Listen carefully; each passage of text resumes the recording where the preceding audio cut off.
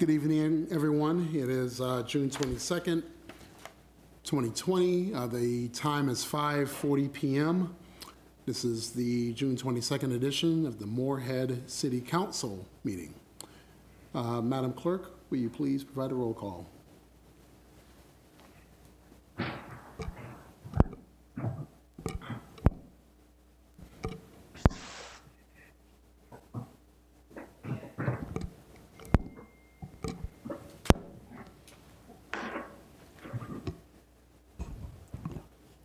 Shelley Dahlquist, Here. Sarah Watson Curry, Here. Shelley Carlson, Here. Heidi Durand, Here. Jonathan Judd, Here. Deb White, Here. Larry Seljevold, Here. Chuck Hendrickson, Here. Steve Lindaas, Here. and then in chambers, I have City Manager Christina Volkers. Thank you, Madam Clerk. If you can please rise and recite the Pledge of Allegiance. I pledge allegiance to the flag of the United States of America and to the republic for which it stands, one nation, under God, indivisible, with liberty and justice for all. Thank you, everyone. Good evening, everyone. I am Mayor Jonathan Judd. The Moorhead City Council is holding its regu- regularly, excuse me, scheduled meeting using virtual meeting technology under an emergency declaration due to COVID-19. I am in the city council chambers with the city manager, as well as the city clerk and the assistant city manager, and a few other staff members. Council members are attending remotely. Any public comment received prior to this meeting will be read as a part of the record the- during the applicable agenda item. The public may participate during the meeting by calling 218-299-5001. Public input will be taken by a staff member and provided to me to read during the meeting. Or you may request that your call be bridged to the virtual WebEx meeting and speak directly during our public hearings or citizens addressing the council agenda item. Again, the public comment line is 218-299-5001. If there is no answer, please leave your message or a callback number, and we will get back to you as soon as possible. We'll move on to item number three on the agenda. Are there any agenda amendments this evening, Madam City Manager? None that I know of, Mr. Mayor. Thank you. We'll move on to item number four, which is the consent agenda. Are there any items that will be coming off consent this evening? No, Mr. Mayor. With that, Councilmember Durand uh, moves approval. Second, Carlson. motion's been made and seconded. Any discussion? Madam City Clerk? Dahlquist, Yes. Watson Curry, Yes. Carlson, Yes. Durand, Yes. White, Seljevold, Yes. Hendrickson, Aye. Lindaas. Yes. Motion carries. We'll move on to item number five, the approval of the minutes from the June 8th, 2020 meeting. Any modifications to the minutes? Hearing none, I'll accept the motion to approve. Moves approval. Second, Hendrickson. Motion's been made and seconded. Any discussion? Hearing none, Madam City Clerk. Carlson, Yes. Watson Curry, Yes. Dahlquist, Yes. Durand, Yes. White, Yes. Lindaas, Yes. Hendrickson, Aye. Seljevold. Yes. Motion carries. Move on to item number six, uh, citizens addressing the council. Uh, We do have uh, a number of communications that have been received electronically, and I think we do have uh, some folks that are calling in, uh, and this is pursuant to Agenda Item 18A. So even though this is a agenda item, we will be uh, hearing uh, public comments on this at at this time. And I think at this point, I'll pass it over to Madam City Manager Volkers if you want to uh, comment on. Thank you, Mr. Mayor. Um, For the public and for the council, as a point of clarification, the agenda says executive session for the purpose of developing offers or counteroffers for the sale of a portion of Woodlawn Point. I, I think that is misleading. I wanted to be clear for the public that this discussion, although we can't talk about what we're talking about in there, it is not for the purpose of selling that land. I want to make sure that the public knows that will not be the discussion. We have received a lot of public comments through the downtown process, et cetera, about options for that property. And so at this point, we're talking about getting some further information, and then there will be absolutely opportunity for the public to weigh in. That discussion is not about the sale of the land. So I just want to make sure that the public understands that, and I apologize. The agenda is misleading, and if people thought that's what we were talking about, that is not true, so, thank you, Mr. Mayor. Thank you, uh, Madam City uh, Manager on that. I guess with that, I think we'll just open it up. Uh, We do have uh, two individuals uh, that have uh, called in. Uh, oh. Sorry, speaker microphone was off. I get the big message here. Uh, So what I said was, uh, we do have uh, two individuals who have, it's saying that my speaker is off, but the green light is on.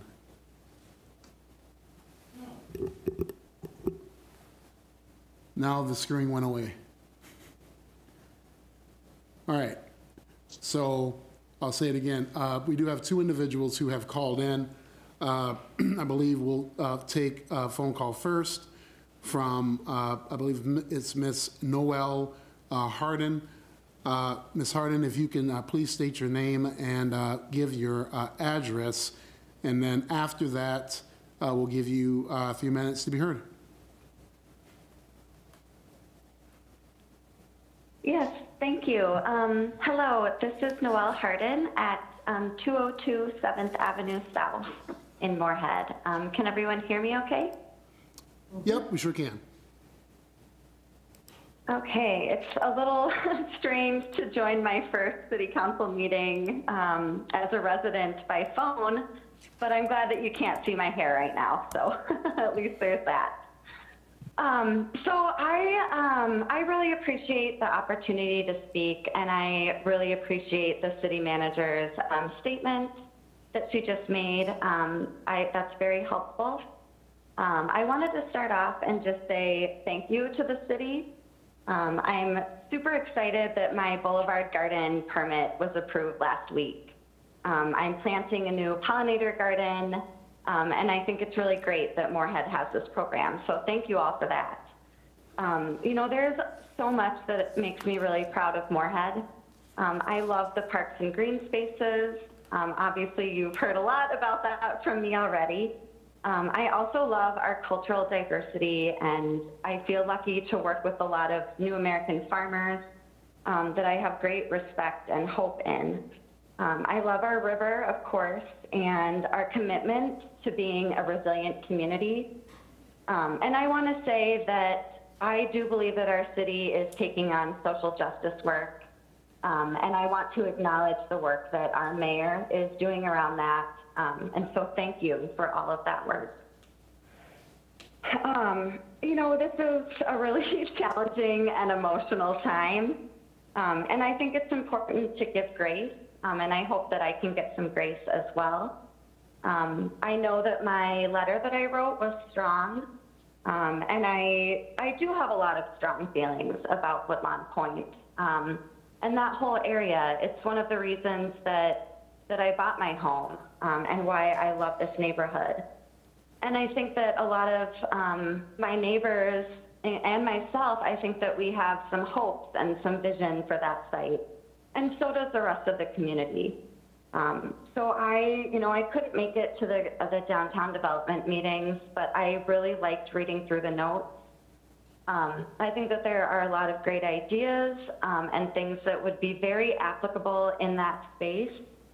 Um, I especially just want to again lift up the idea of food sovereignty and um, urban farming, and especially thinking about our new American communities. Um, and that's really, I think, all that I want to say. Um, you know, I think that at, there's a conversation to be had at another time about process. Um, I am concerned that during the city emergency, you know, we haven't always been take, able to take up issues that, you know, residents felt very personally strongly about during that time. Um, so I think part of what got my hackles raised were, you know, this being done during an emergency in an executive session was alarming to me. Um, but I, I really appreciate the response that I've gotten. Um, I hope that you will consider the steps that I outlined in moving forward. Um, and once again, I just am proud of this city and I'm really grateful to have this opportunity. Thank you. Thank you, Ms. Harden, for, uh, for uh, calling. Also, thank you for your passion uh, that you have exuded for Moorhead and for your work in uh, food insecurity. We really appreciate it. Thank you. Uh, We'll move on to uh, our next caller, uh, which is, uh, I believe, Del Rae Williams. A familiar name. Uh, But. Thank you, Mayor. Thank you. If you don't mind stating your address, and uh, we'll let you roll. Yeah. My name is Del Rae Williams. I live at 1011 10th Street South in Moorhead. And I wanted to call um, a little bit about your executive session. I, I, um, I'm sure you will make some good decisions. But during my time frame, I um, lifted up one key part that was uh, before your time, JJ, before my time. Uh, when Mayor Mark was was uh, on board, he did a citizen task force about uh, the power plant site. Um, this is back when there actually still was a building there. And uh, I just want to lift that one up in particular. It's a really beautiful area. And what that group had decided was that they would like to have it have a, a public, a strong public component to it.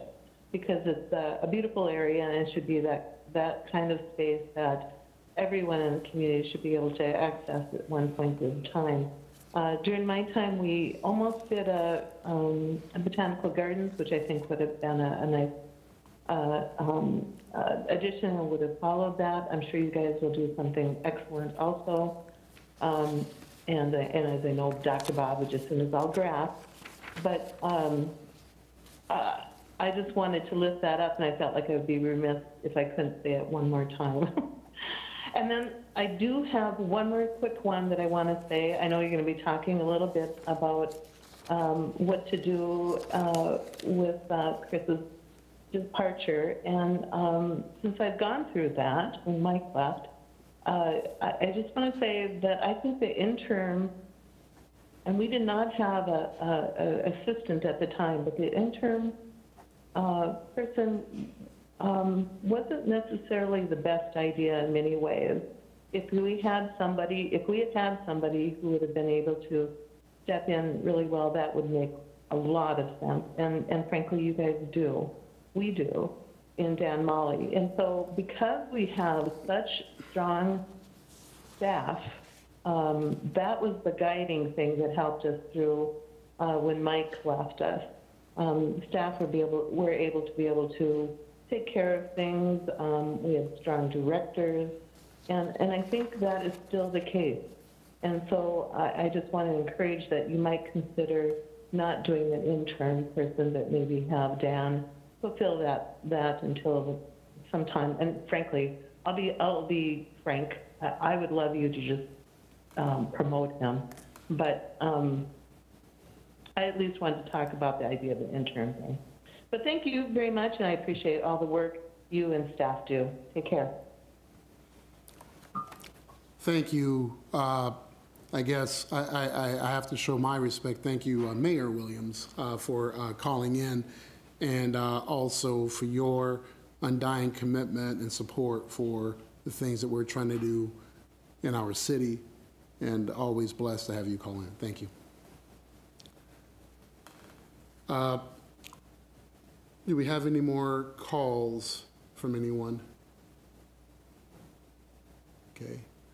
Uh, I do note, I want to make a record, that we do have people who have written in.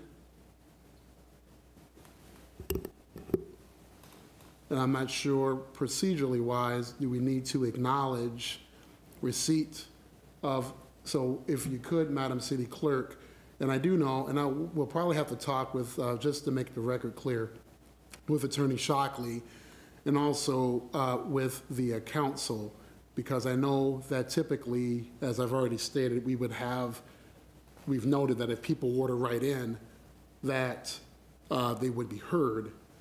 So we'll have to talk about after this meeting, whether or not it would be prudent to have the communications read as part of the record, or if we want to accept them as, uh, as received when we talk about citizens to be heard during our virtual meetings. So uh, I know there's some legal stuff we need to work through, so I'll wait when Attorney Shockley uh, comes back, or we can have that conversation later, but just, just so procedurally speaking, what's the right way to do it. So, but until that point, Madam uh, City Clerk, if you can read the name and the address of the folks that have communicated. Sure, and I apologize if I misspeak on the names. I have Sarah Bieber at 419 Elm Street South in Moorhead, speaking to the Woodlawn Point. And I also have Michael Carbone also speaking to that. And that is 701 First Street South in Moorhead.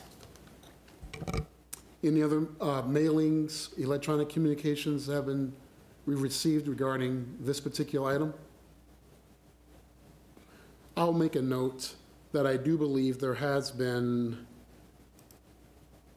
at 321, we received a email from a Rick Hall.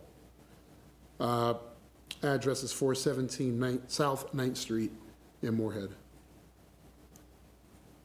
Other than that, I don't think I've received any communications, but that should make the record clear. Madam City Manager, have you received any other? I'm sorry, Mr. Mayor, no, I believe that is, those are the three we received. Okay. And then, Councilmember Durand, I did see your hand up. Um, It's now down, but now it's back up. So if you want to speak on this, please feel free.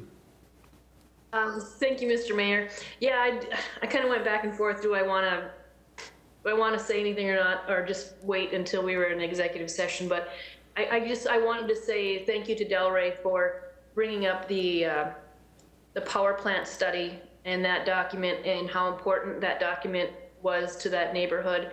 Um, and it is a, a piece of work that we need to uh, keep handy when we are looking at options for that area. Um, that is a, a, I've said this in the past and I'll continue to say it over and over. That's a, a neighborhood that has had a lot of things taken away from it. Um, and they don't need the, that beautiful view taken away as well. So I, I you know, I, I, I was a part of the, uh, the, the Japanese garden group that studied that project and we tried to get that done, but unfortunately that fell through. Um, but the neighborhood, um, has expressly stated they, they want to see that, that area there put to public use, uh, and not, um, you know, not, not private development. So, um, that's all I, I wanted to say, and I, I was happy to hear that uh, Del Rae was, you know, former Mayor Del Rae was was uh, calling in to remind us that that document exists and, and is worth a, uh, a, a review again. Thank you, Councilmember Durand. Uh, Is there any, uh, I know, uh, Mr. Lapointe, you're uh, sitting there, is there anything you wanted to add uh, to this particular item before we move forward? Thank you, Mr. Mayor, and I'll be brief. I, I think uh, a lot of comments were already said. I think from our downtown master plan process, we obviously developed a scope and work in partnership with the City of Moorhead, the Moorhead Economic Development Authority, as well as the Downtown Moorhead Inc. Board. So that scope did include a, a, a draft, uh, written draft of the request for proposal or request for qualifications. Um, in light, that doesn't mean we ultimately have to go out for a request for proposal or RFQ. Um, but obviously, the the work of engagement that we've done, I will note that um, the Stantec team did an excellent job in partnership with a lot of different community partners and and really hitting record numbers of engagement for Stantec's platform that's worldwide. We are being uh, recognized worldwide now for how much engagement we did. Uh, the diversity that we did, as well as including families and stations for kids, et cetera. So um, I am proud of the work that we have. Obviously, we can't get to everyone, and there's always other ways we can improve upon to get to more people. Um, but uh, those documents that were mentioned, I, I will note they are a part of uh, our planning process, so they have been reviewed. They are uh, summarized within the, the new downtown master plan that will be finalized later this summer. Um, so happy to have further conversation, but again, this is a, a choice of the, the mayor and the council of, of what to do with the city-owned property. And we're obviously just uh, bringing forward engagement that we, we've collected through the downtown master planning process. Thank you, Mr. Lapointe. And uh, any other council members wish to be heard? Uh, Councilmember Dahlquist, your hand is up. Yes, thank you, Mayor. Um, I just want to remind everyone too that there was an apartment building that was on the property that is north of uh, Fifth Avenue. And um, so that building was torn down, um, which was, uh, I don't know how many units there were, but it was affordable housing, so we lost those. Um, and so we need to be very careful what we replace that spot with. And I also want to thank uh, all the call-ins and the uh, people who are sending in some opinions in the neighborhood. Thank you. Thank you, Councilmember Dahlquist. Any other council members wish to be heard?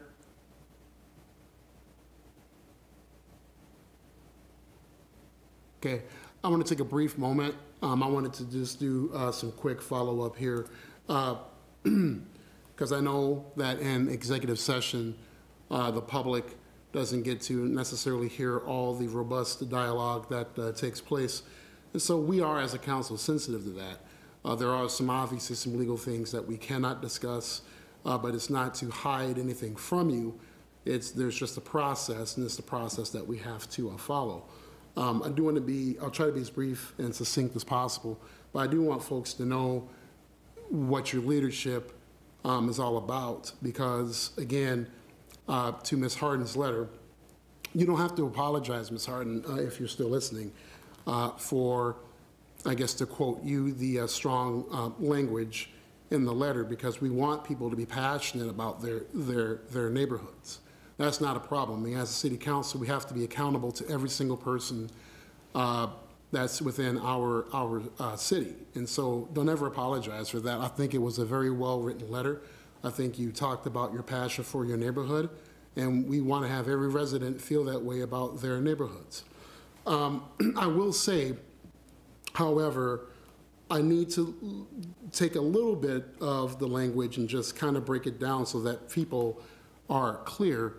Uh, The only, the major concern that I had is that uh, I think it, it, it's when, one of the few uh, the lower paragraphs where, now paraphrasing, where the council, the we, should be making decisions that elevate and prioritize the needs of those in our community who face economic, social, and racially driven disparities. Um, I, I, I I hope, and maybe we need to work better about connecting, because I honestly believe in talking with a lot of our council members, we are all united in making decisions that address each and every one of those disparities. I know that everyone sitting up here, their heart's in the right place, and that uh, each individual sitting up here on the dais has, has a passion uh, and is aware of those disparities and how we should, as a city, within our own specific wards and holistic, holistically take an approach to how we do that. Um, I think for every individual that sits up here, I can probably state their mission because I've had one-on-ones with them, and I should have more, more frequent one-on-ones with them. But they each bring something to the table to address everything of which you're speaking of within your uh, letter. So please accept my, my apologies if uh, we have not been as, I guess, direct as far as communicating what those passions and, and how we look to make policy decisions to address those. With that being said, before we go into executive, I want people to kind of understand what the major decisions council ha- has to make tonight. First and foremost, if we're looking at addressing equity as a whole, equity looks different. We want to have policies to address these disparities, but here's the situation.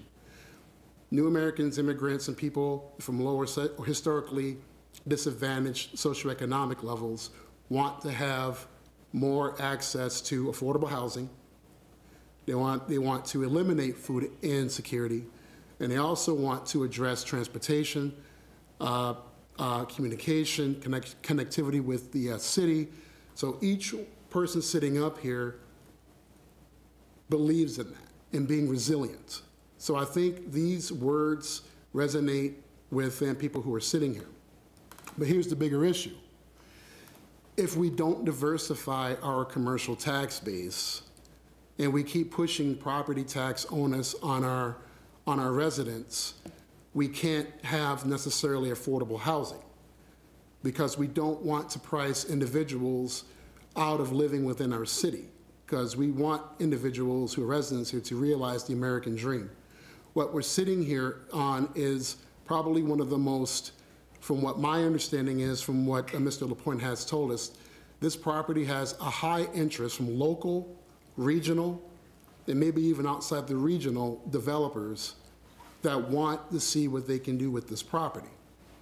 So the city, through, well, DMI, has had a number of opportunities to engage with citizens in order for us to make those policy decisions that reflect the bigger picture about how to address the equity or the inequity uh, that currently exists with people that sit within our city. So please be rest assured that we are balancing the interests of the people who live in, live in the Woodlawn Point neighborhood, but also taking in a bigger picture approach about how do we keep the neighborhood the way people want it to be, but also taking and making holistic policy decisions to address the fact that we need to diversify our residential and our commercial tax bases so that people have easier access to what we want in our city, which is more businesses, more residents, more freedom to operate, easier transportation and access. So when we go in here, we don't always agree. Uh, we don't rubber stamp anything that comes through here, but you need to know that we're having those conversations. And at the heart of each individual sitting up here, we are looking to be as transparent and as thought provoking about how we address the inequities as much as possible. So thank you, everyone who has emailed, called, uh, or written in regarding the Woodlawn, Woodlawn Point situation. Thank you. Then we'll move on to item, unless there's any council members that wish to be heard. Then we'll move on to item number, I believe, it looks like nine. It does not have an asterisk, so we need to move on to approval of licenses slash permits, or hyphen permits.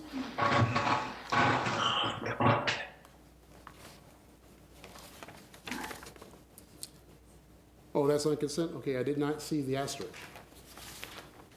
So I just want to make sure.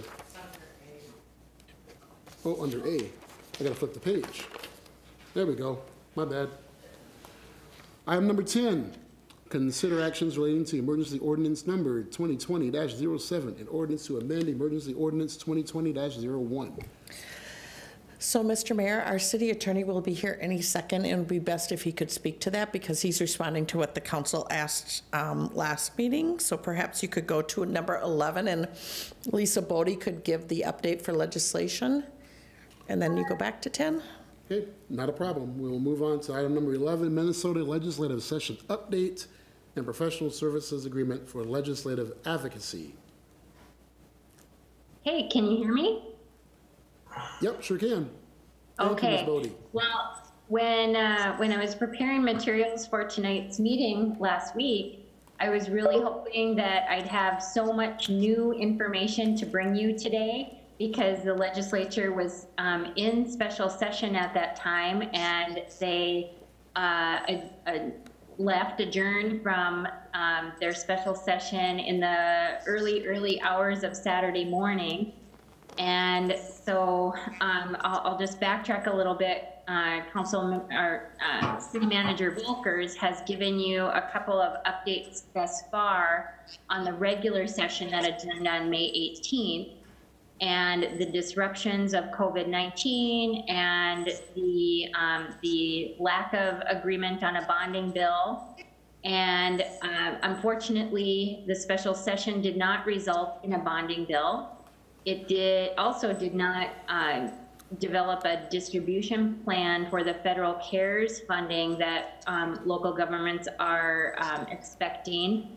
And uh, the, a lot of the debate got um, embroiled in discussions on police reform in Minnesota and rebuilding neighborhoods damaged by arson and looting after the May 25th killing of, of George Floyd by a Minneapolis police officer. The Coalition of Greater Minnesota Cities um, called the end of the session a train wreck.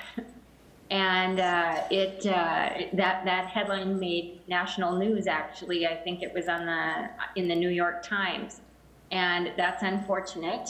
Um, we um, where we're at right now is there's no confirmation of a second special session to address the unfinished business of 2020 and Minnesota's growing budget deficit. Um, uh, as far as the bonding proposals, we do still hold out some hope that there will be another special session and that a bonding bill will get passed. The, um, the bonding proposal put forth by the Senate during the special session was the smaller of the proposals. And that proposal did include $8.5 million for Clay County Transfer Station and $62 million for the 11th Street underpass, which, you know, so we can still hold out some level of optimism that if there is a bonding bill, we have some projects well-positioned within, within the projects. Um, uh, The, the bill passed by the Senate also included $18 million for statewide flood mitigation, which is far short of fully addressing Moorhead's needs or that of the FM diversion when you consider needs across the state.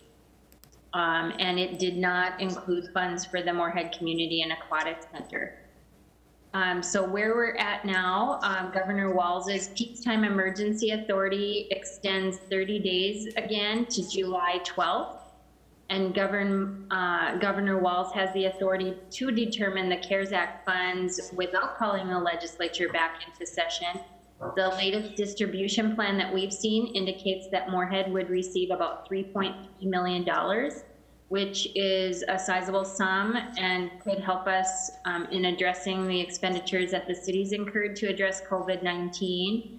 And we're exploring guidance on eligible uses of other fund, uh, uh, other sources of, other ways we can use that money. And we have expressed to our legislators that the timing of release of those funds is really important to developing a, um, a, an appropriate spending plan that best makes use of the resources for both municipal and community purposes by the December 30th, 2020 deadline. Um, and uh, noted within the communication for tonight's meeting um, is the changes to the state budget. Um, the state's gone from a surplus in February to a deficit of $2.4 billion. I'd say this is an uncertain time to be, uh, to, to be blunt, and that we would be very pleased with funding for the transfer station and the underpass, and that we also have programs in place that we want to remain in place, and that um, it's very important that we uh, work to keep, such as the Border City Enterprise Zone funding and the disparity reduction credit, which keeps commercial property taxes at a competitive level uh, through a state-paid credit that costs the state nearly $20 million. So um, with, with that, I can uh, pause for questions, or I can give you more information about the request for council action for tonight um, to extend an agreement, a professional services agreement for legislative advocacy with Scott Hutchins. Um, Mayor Judd, what would you prefer? Should I pause for questions? Make sure my mic is on here. Uh, Sure, that's not a problem. Yeah, uh, do any council members have any uh, questions regarding this?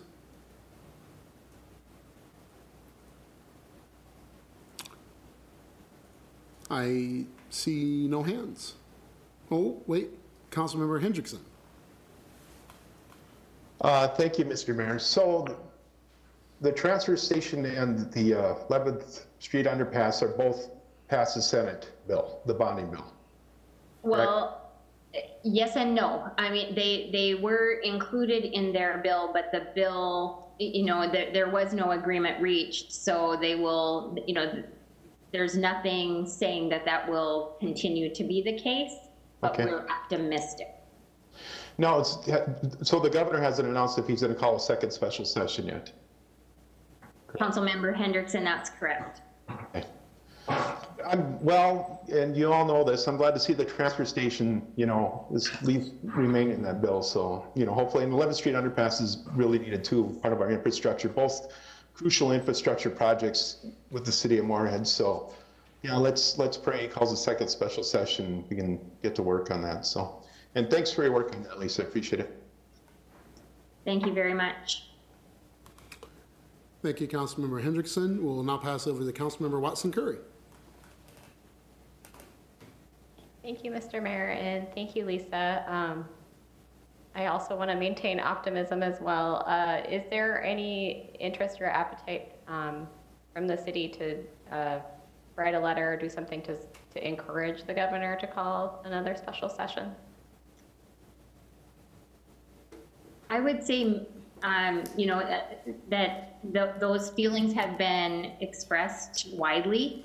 Um, I'm not sure how impactful it would be, but it, you know, it, I suppose it, it can't, certainly can't hurt.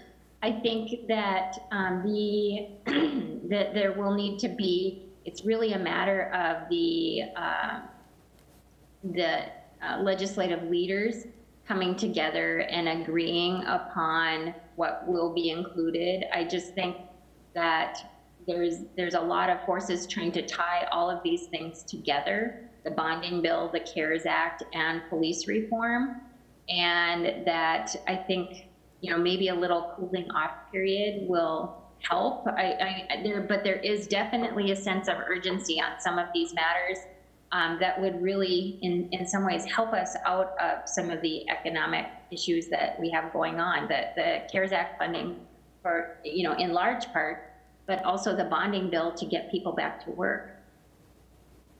So I, I- I don't know if that answers your question, Councilmember Watson Curry, but, um, you know, I, I, I think that there is, that all those pressures are at work right now. Is that, Thanks, Lisa. Um, Pardon me, um, I, I had seen the Coalition of Greater Minnesota Cities is putting pressure on the CARES Act funding in particular, so I was just curious if either LMC or CGMC are um, advocating for that as well. They absolutely are. Okay, great. Thank you for your work. thank you, Councilmember Watson Curry, uh, for your comments. And then we'll pass over to Councilmember Hendrickson. Your hand is back up. And it's down now, JJ. I apologize. No worries. Uh, Does anyone else uh, have any uh, questions or comments at all?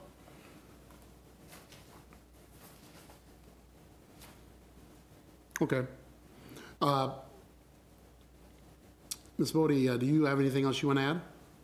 I do. Um, within your packet is a resolution um, in which we are requesting this, um, city manager has recommended uh, uh, that um, Scott Hutchins, who was our um, legislative lobbyist for more than 30 years, um, and as noted, uh, when the border city uh, programs were developed, and Scott uh, served after his retirement in 2017. Scott served as the city's sole lobbyist in 2018, and after I became governmental affairs director, he mentored me in 2019.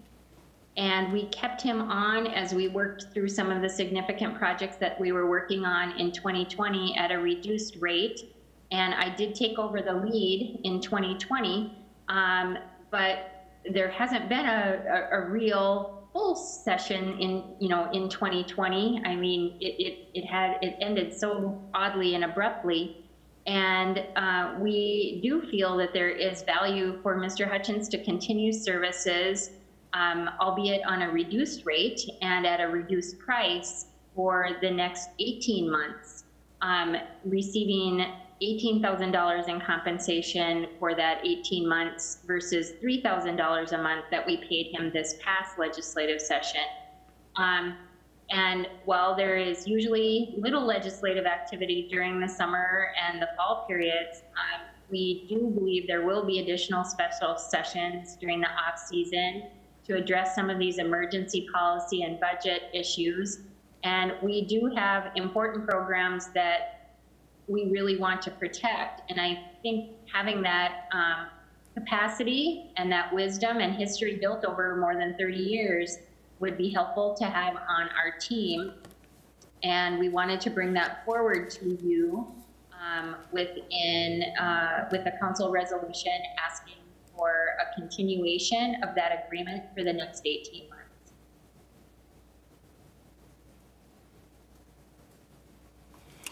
Okay.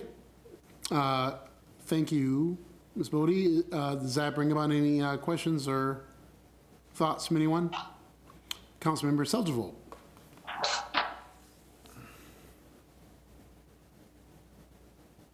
And so why is he that important now or in the future?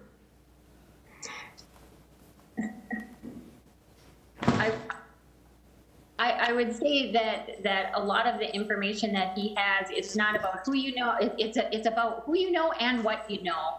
And um, Scott's value has been, you know, proven over time. He is researching things for us. I meet with him weekly.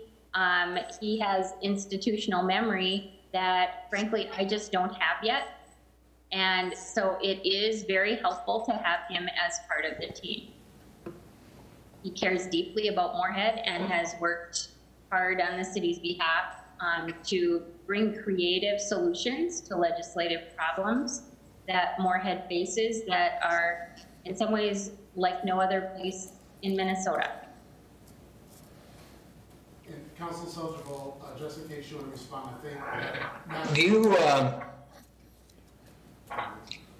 um, do you fear that uh, Morgan will be, uh, some of our, our border res, our legislation, someone will help balance the budget? Do you think they'll be taken away from us? Is that a fear? I- I'll answer. Uh, that, that's okay. Uh, Ms. Bode, one second. I think council member, or Adam City Manager, I'm getting all my stuff here, wanted to follow up with council member Seljevold's prior comment. maybe And this one. uh, And this one. Okay. Yep. Thank you. Councilmember Seljevold, um, I will, i give you the same kind of response I gave mm, the mayor when he asked me those questions also, by the way. So um, a couple things about, let's start with the border city stuff, which is is extremely critical to the city of Moorhead. Our businesses, by receiving that difference in property tax from our 3% or 2 point something to 1.6, so we're the same as North Dakota, the fact that the state pays that nets about 20 or 25 million dollars, Derek, is that about right? Yep. 20 or 25 million dollars to our businesses. any change or loss, and that would be a critical, critical hit to our businesses. So the, I'll start with that. So the, and there is some talk about that with the upcoming budget concerns. There has been a lot of discussion and questions about border cities and why do we get this money and we don't get it, right? Our businesses do, but but should that be looked at? So there is a lot of conversation happening about that. So that's number one. Number two is Scott Hutchins has been an advocate for this city for a very, very long time. And I can honestly say, and I did not know this when I started being city manager, but I can honestly say he has been more influential than anybody else, in my opinion, um, as far as our success with bonding bills. Moorhead has been extremely um, successful in getting bonding money for our infrastructure projects and other projects and our flooding. And while Bob Zimmerman, Dr. Zimmerman, does a lot on the flooding, Scott has, has built those relationships, know who to talk to. He's an excellent lobbyist for Moorhead, and he should be credited, in my opinion, for a lot of the success. So we did hire him, as Lisa said last year to help Lisa kind of acclimate still to her new job as a lobbyist. She still has not had a full session, and he was supposed to help her through this session. Well, the session didn't really happen. Really small, you know, a very, very small part. Lisa still hasn't had her full training. And so it is your city manager's recommendation of, for our city employee to have that training, and Scott is in a unique position to give her that training. That's why it's on the agenda tonight. Thank you. Uh, Ms. Bode, I'm not sure if you wanted to follow up with anything based on uh, Madam City Manager's comments, and then we will give uh, Councilmember Seljevold a chance to uh, add any other thoughts or questions. I, I'd be happy to answer any additional questions that you might have. Okay. Well, Mr. Mayor, I, I'm not questioning Scott Hutchins' uh, qualifications. I, I've known him for years and I know how, good of a job he, he's done. It's just, it, I'm looking at it as a budget item is what I'm looking at and not his qualifications at all, not at all. Thank you. Uh, Thank you, Councilmember Seljevold. I, I wholeheartedly agree. Um, I, uh, when this was brought to my attention, uh, exactly, you're right on, on spot, and I think uh, as a council, we have to look at that. Um, Though I don't have a vote in this situation, I think my inkling would, would be if it's worth protecting what we have already so that it- doesn't get taken away, it might definitely be worth uh, the value to our uh, city to do that. So again, uh, no question about his credentials at all. I do see uh, Councilmember Carlson, your hand is up, and then we'll go back to Councilmember Hendrickson. Councilmember Carlson. Um, I was going to move to uh, approve the professional service agreement for legislative advocacy um, with Scott Hutchins. Dur- Durand seconds. So we have a motion's been seconded. Any further discussion? Uh, Councilmember Hendrickson, I see your hand is up. This will be that time for you if you wish to chime in. Well, I was going to make a motion, Mr. Mayor, thank you. Um, But I've seen Scott, I've worked with Scott down at the Capitol and I've seen him in action. He does a really good job. So I was going to make the motion, but um, Councilmember Carlson beat me to it and Durand beat me to the second. So that's all I have. All right, no worries. Any uh, further discussion?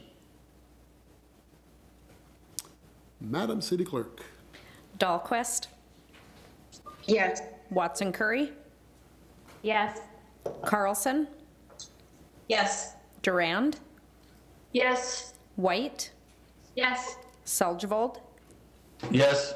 Hendrickson, Yes. Lindaas. Yes. Motion carries. Then we'll go back to item number 10, since uh, City Attorney Shockley is here. And again, uh, for those at home, to consider actions relating to emergency ordinance number 2020-07, an ordinance to amend emergency ordinance 2020-01. Mr. Shockley. Uh, Thank you, Mr. Mayor, members of the Moorhead City Council. Uh, As per the direction at uh, the city council meeting two weeks ago, we prepared an amendment to the emergency ordinance regarding uh, the conduct conduct of uh, open meetings uh, during the COVID situation. Uh, The primary change to the ordinance has occurred, uh, it would be in the packet, page number 19 and 20, but it's in section 3, 2 of the ordinance. Uh, The ordinance has been amended to state, uh, furthermore, city boards and commissions may meet to discuss any meeting agenda topics by telephone or other electronic means. It was striking the essential language uh, that we had before. Uh, Previously, the ordinance had in place uh, that only essential business would be conducted or those items which would trigger the 60-day rule in Minnesota. I can certainly answer any questions, but it's a very straightforward ordinance amendment uh, that will allow uh, boards and commissions, uh, even with non-essential business now, to meet virtually or electronically. Thank you, Mr. Shockley, for that overview. Uh, Councilmember Hendrickson, I see your hand up. Apologize again, Mr. Mayor. It was, I forgot to put it back down. That's all right. Uh, Any uh, questions or uh, comments regarding this matter? Okay, and then, uh, Mr. Shockley, can we take uh, both of these here, A and B, together? Yes. Thank you. So I entertain a motion uh, for adoption. Duss moves approval. Watson Curry, second. Lindaas and Watson Curry. Gotcha. Any further discussion? All right, Madam City Clerk. White, Yes. Seljevold, Yes. Hendrickson, Aye. Lindaas. Yes. Dahlquist, Yes. Watson Curry,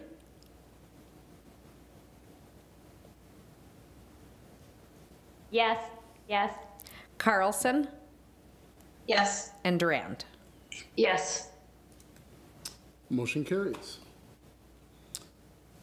That'll move us down to item number 14, which is a resolution to approve professional services agreement, uh, the I-94 Water Tower Artist.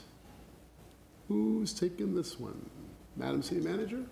Um, am I or is Lisa Bode taking this? I- I'm on and ready if you want me to. Okay, go for it, Lisa.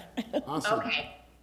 So, thank you very much, Council- our uh, Mayor Judd and City Manager Volkers. We have a professional services agreement for the I-94 Water Tower artist. And um, Council may remember that way back in January of 2019, the city entered into an agreement with Moorhead Public Service for the development of the artistic component for the I-94 water tower.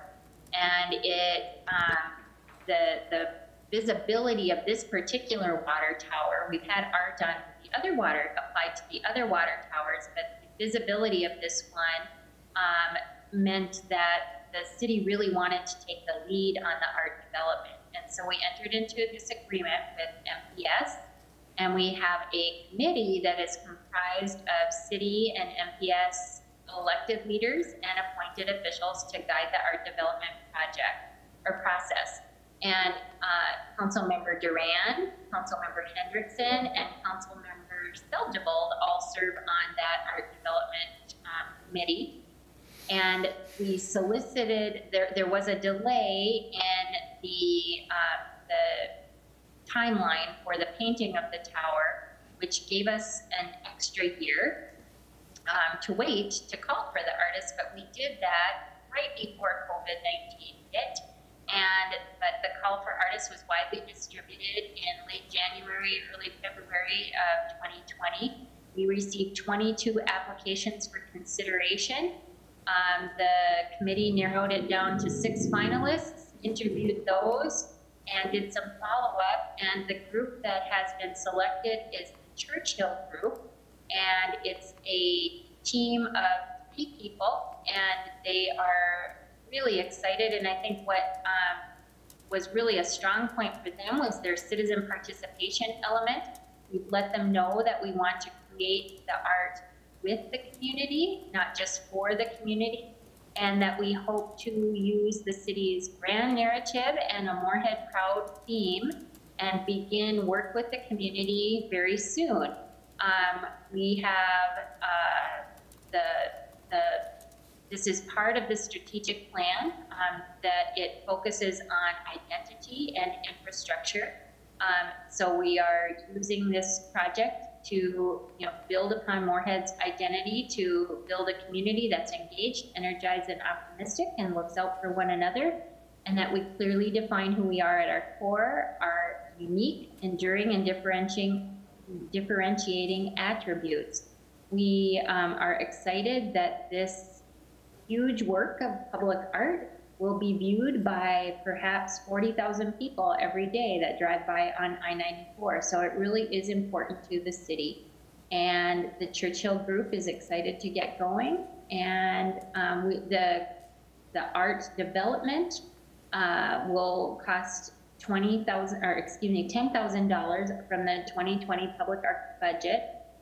MPS has um, agreed to contribute 28.5 to the art application.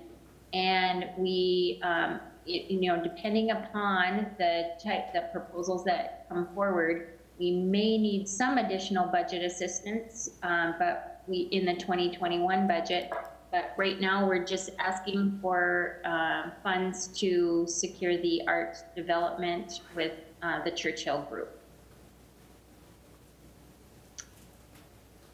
Does anyone have any questions?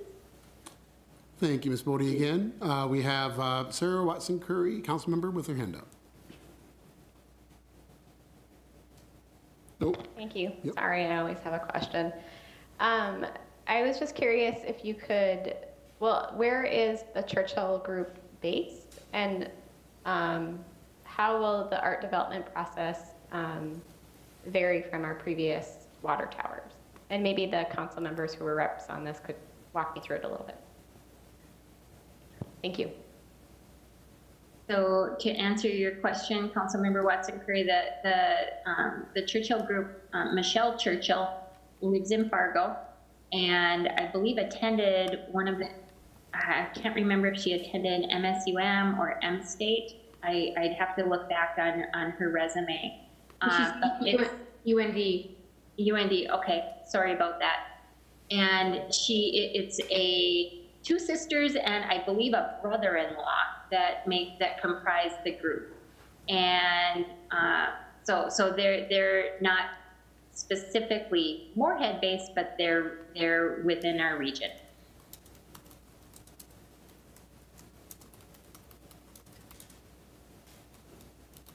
Thank you for that, Lisa. Um, just as a follow-up, will the art development process be um, reminiscent of what we've seen for other water towers in the community?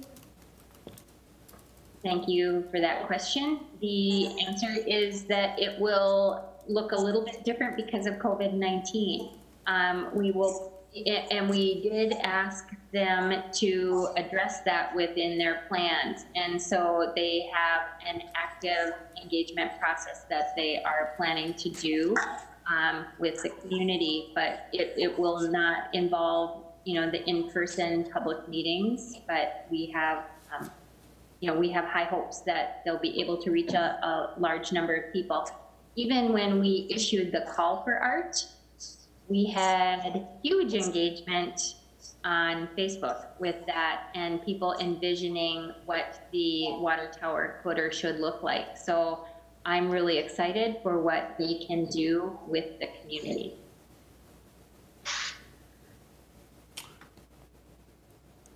Thank you, uh, Councilmember Watson Curry. Uh, Councilmember Durand. Uh, thank you, Mr. Mayor. Um, uh, Councilmember Watson Curry, I, I was a part of this group.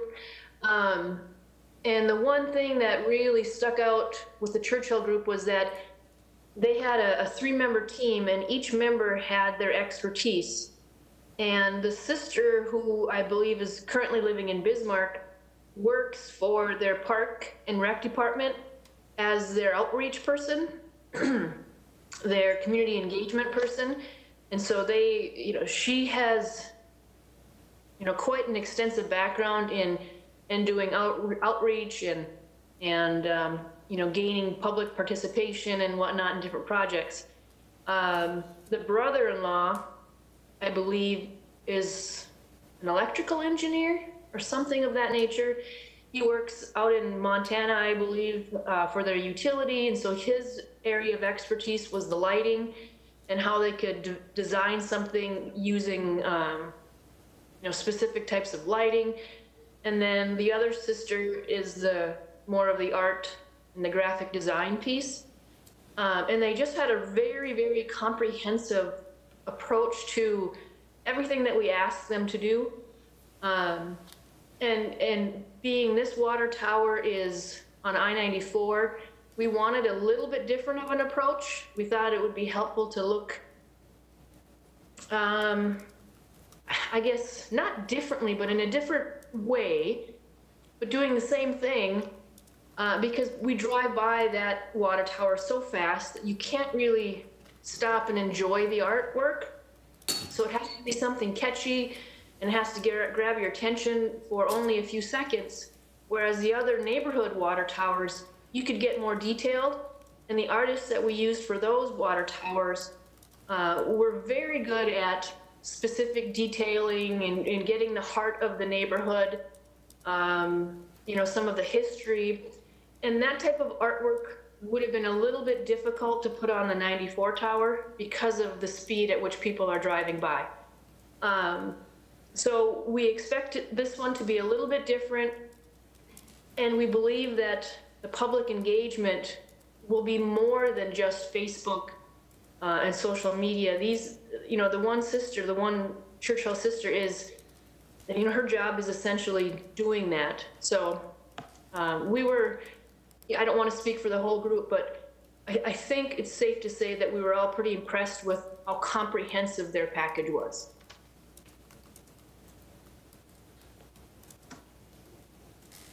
Thank you, uh, Councilmember Durand.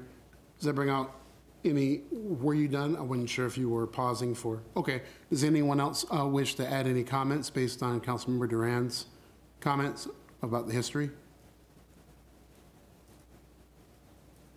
Okay, thank you for sharing. Uh, Ms. Bode, is there anything else you wanted to add? Not unless there's further questions. Thank you. Okay, not a problem. Any other uh, questions, folks? Um, If not, I'll entertain a motion. Councilmember Lindaas moves approval of the resolution to approve professional services agreement. Seljevold, second. Motion's been made and seconded. Any further discussion? All right, Madam City Clerk. Lindaas, Yes. Hendrickson, Aye. Seljevold, Yes. White, Yes. Durand, Yes. Carlson, Yes. Watson Curry, Yes. and Dahlquist. Yes. Motion carries. Thank you, folks. That brings us to item number 15, city manager recruitment. Next steps. I'm gonna presume, uh, Mr. City Attorney, Um, Thank you, Mr. Mayor. Um, We, I think the last uh, uh, council meeting, the council tabled the issues that I had presented other than uh, appointing uh, Mr. Dan Mahli as acting city manager. Uh, And thus, I think the city council still has a couple of decisions to make. Uh, I guess the first would be, uh, do you want to employ an interim city manager? And then the second is uh, the search, uh, how you want to conduct a search or interview process for the city manager, uh, future city manager, not the current one, who won't be here for a few more days. thanks for the clarity on that one, Mr. Shockley. Uh, So with that, I'll open it up. Um, uh, Well, the first hand I saw pop up was Councilmember Durand, and then I have Councilmember Dahlquist. So we'll pass over to you, Councilmember Durand. Uh, my bad, I forgot to put my hand down. Oh, okay, no worries. Councilmember Dahlquist, and then after you, Councilmember Lindaas. Uh, Thank you, Mayor. Um, I believe uh, Attorney Shockley was not here when um, Del Rae Williams had called in and gave a recommendation. Could you recap that and see if that is an option that we could put in with the other options? Okay, I'm Do you gonna- remember what Del Rae Williams had said? I believe generally, I don't want to put words uh, in her mouth, but I think the, she was asking whether or not the option was to promote uh, from within, if I'm not mistaken, or uh, in. Not do an interim. Not do an interim. I believe so, is what she said, but again, I, I I don't. It was something about she believed the interim mayor was not um, as successful as they had hoped last time. And if there was a way to skip that step. So uh, certainly, the council, th- this is very much within your discretion. Uh, The rules you do have to follow are employment law related. Uh, So you could certainly not hire an interim city manager and immediately proceed to the city manager uh, search or hiring process. With respect to uh, promotion, uh, if you do an internal process, you will need to have uh, some type of hiring, uh, hiring process so that you preserve those rules regarding pay equity and making sure that you are providing all employees an opportunity to interview for internally posted positions. Uh, But this is, this is one of those times that the city council has a great amount of discretion in how you want to proceed, but you certainly do not need to have an interim city manager.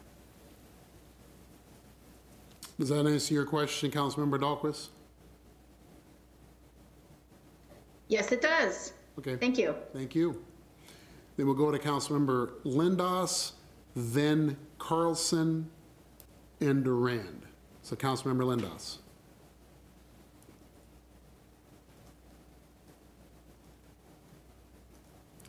If you're talking, we can't hear you. No, I'm, I'm double clicking the, the unmute button.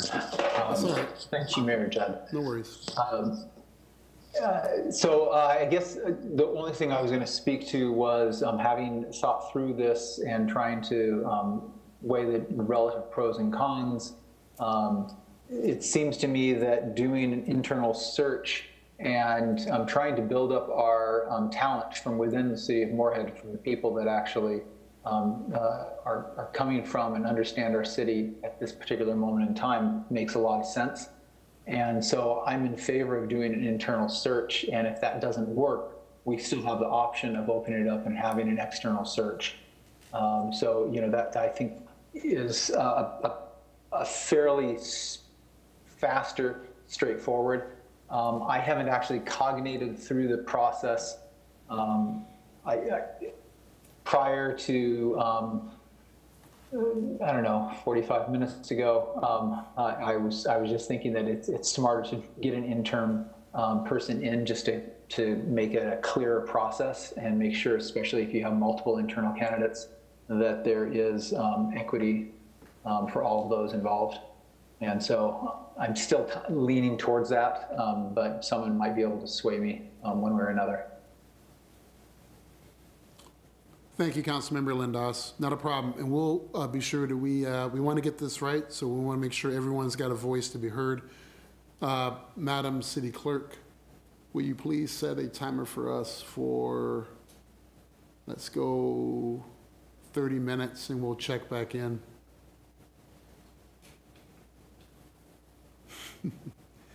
We got to hold our feet to the fire, folks, so it's decision time. I think he's on mute. All right. I, I, I see you, Councilmember Lindaas. It's all good. All right, Councilmember Carlson. Thank you, Mr. Mayor. Um, I was wondering if John, uh, with uh, City Attorney Shockley, could just speak to some of the legality issues that could be involved with, um, have there been other cities where a, a interim, an internal candidate has been appointed as interim and then later hired? And if there are other internal candidates, what is the transparency issues or legality issues involved um, with doing that? Um, And has there been any fallout in other cities where that has um, not been, I don't know what I'm exactly trying to say, but the fallout has been bad. So, Mr. Mayor, uh, Council uh, Member Carlson, uh, I think I'll unpack your question a little bit. So your, your first question relates to uh, what is the impact of hiring an internal interim city manager and then going through a hiring process that's either internal, external? If that candidate that's internal and is looking at that city manager position, um, I'll start first from a kind of a search perspective. It, it makes that search much more difficult because a lot of people may not apply for the position thinking that the interim city manager, uh, they're, they're the candidate that's likely to get it. Uh, So if you do hire an interim city manager, it's typically better to hire an external interim city manager uh, that is not interested in the position. Uh, Or if you feel that you want to hire an interim city manager internally, you want to make sure that you have very clear interview uh, protocols and make sure that you're following that process with an eye towards how is that going to work with your city manager hiring process. Um, With, I think the second part of your question was, what are the legalities regarding the internal uh, hiring process? And uh, just to be frank, I will, I will suggest that on the intern, when you promote from within, that is a very positive thing to do in that uh, you're building your leadership internally. But keep in mind, there is value within the interview process. Um, I have worked with other clients that have just had a single interview process internally, and they, I think, in retrospect, may have liked to have some additional candidates to supplement the pool. I think within the interview process, uh, a council can learn a lot about a candidate.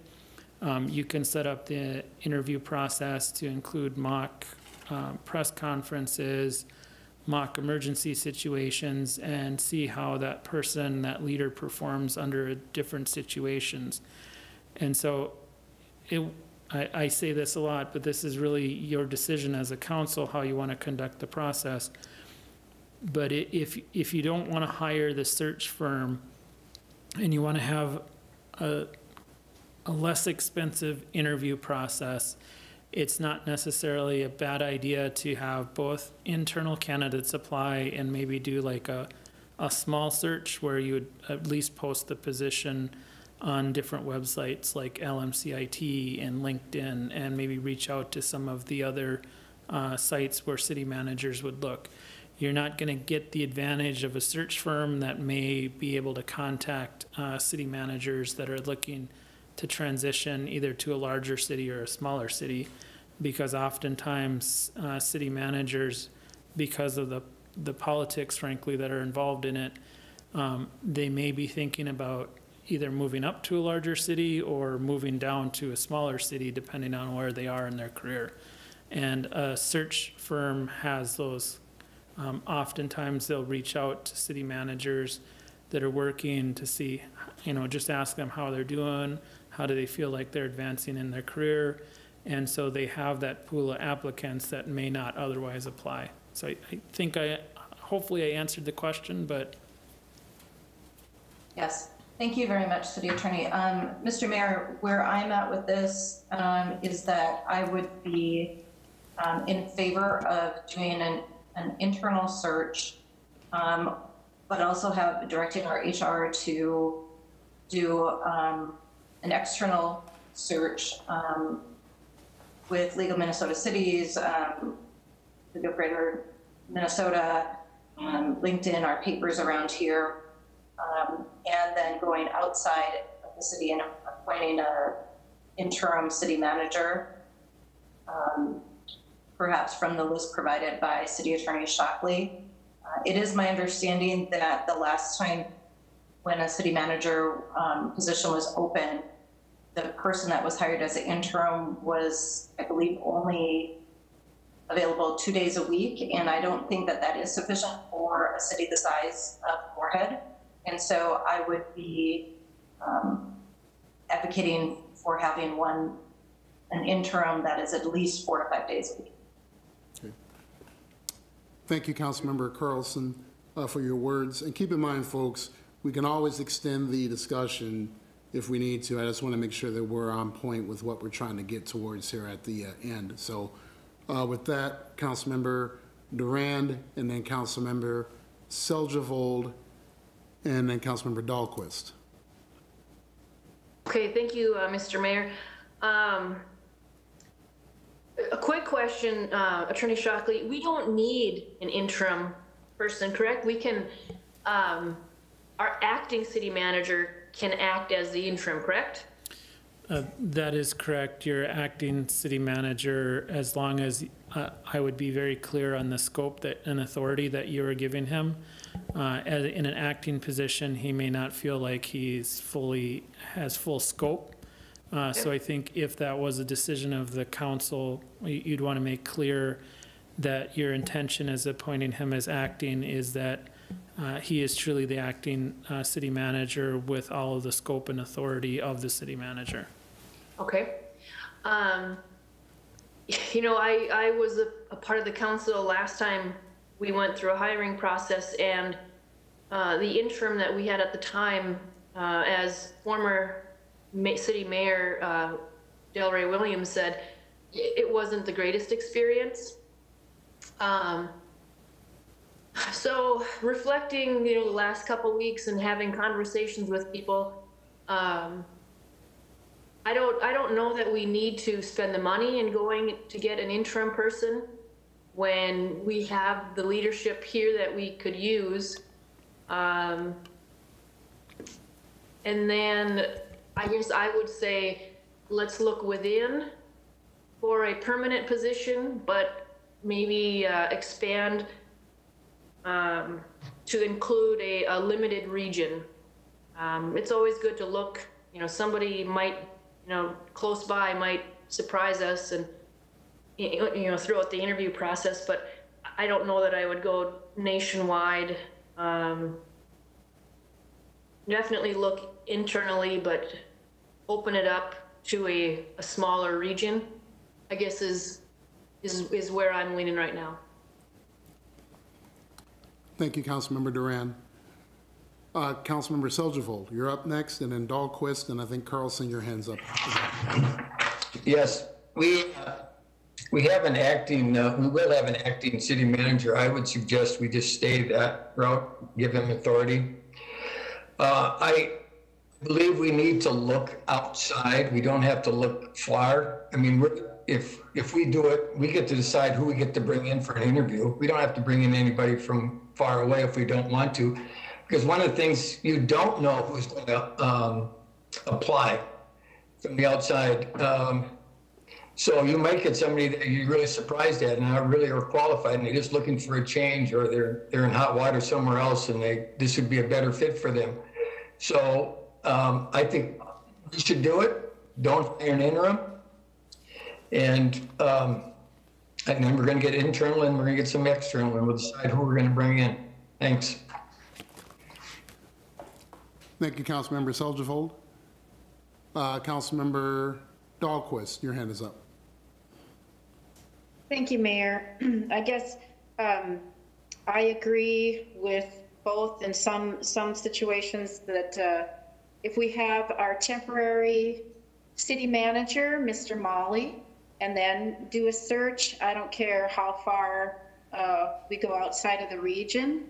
But um, I think at this time, when we're in emergency situation and we don't know how long or if it'll get extended, it would be nice to have someone that's familiar with um, all the going on in the city already, uh, familiar with the employees that we have in the city, uh, would be better qualified to handle what's going on right now, especially with like being very careful financially. Um, so uh, just omitting the step of an interim and just staying with our temporary city manager and then do the search while we have a temporary city manager. It would save us money for the, from the interim. And uh, I agree with uh, Councilmember Seljevold that you could have as far-reaching um, applications, and then you can just screen through who applies. Okay. Thank you, Councilmember Dahlquist. Councilmember Seljevold.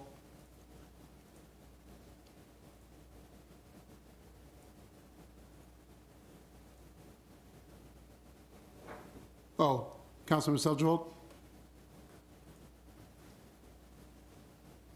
Down. Oh, I'm sorry. Okay, sorry. I saw up and down. Okay. Uh, Councilmember Hendrickson. Uh, Thank you, Mr. Mayor. I, I'd say this last week too, I think we should just, you know, have the acting city manager and I think we should do, you know, not hire an intern because I went through the same process as Heidi did and, you know, it was, it was okay. It was, I don't know if you'd call it successful or not, but it, you know, I think it went okay with the last interim, but I think we have an, we have an acting, we can have an acting city manager right now who knows the system, who's familiar with all the workers. I think that's, that should be good.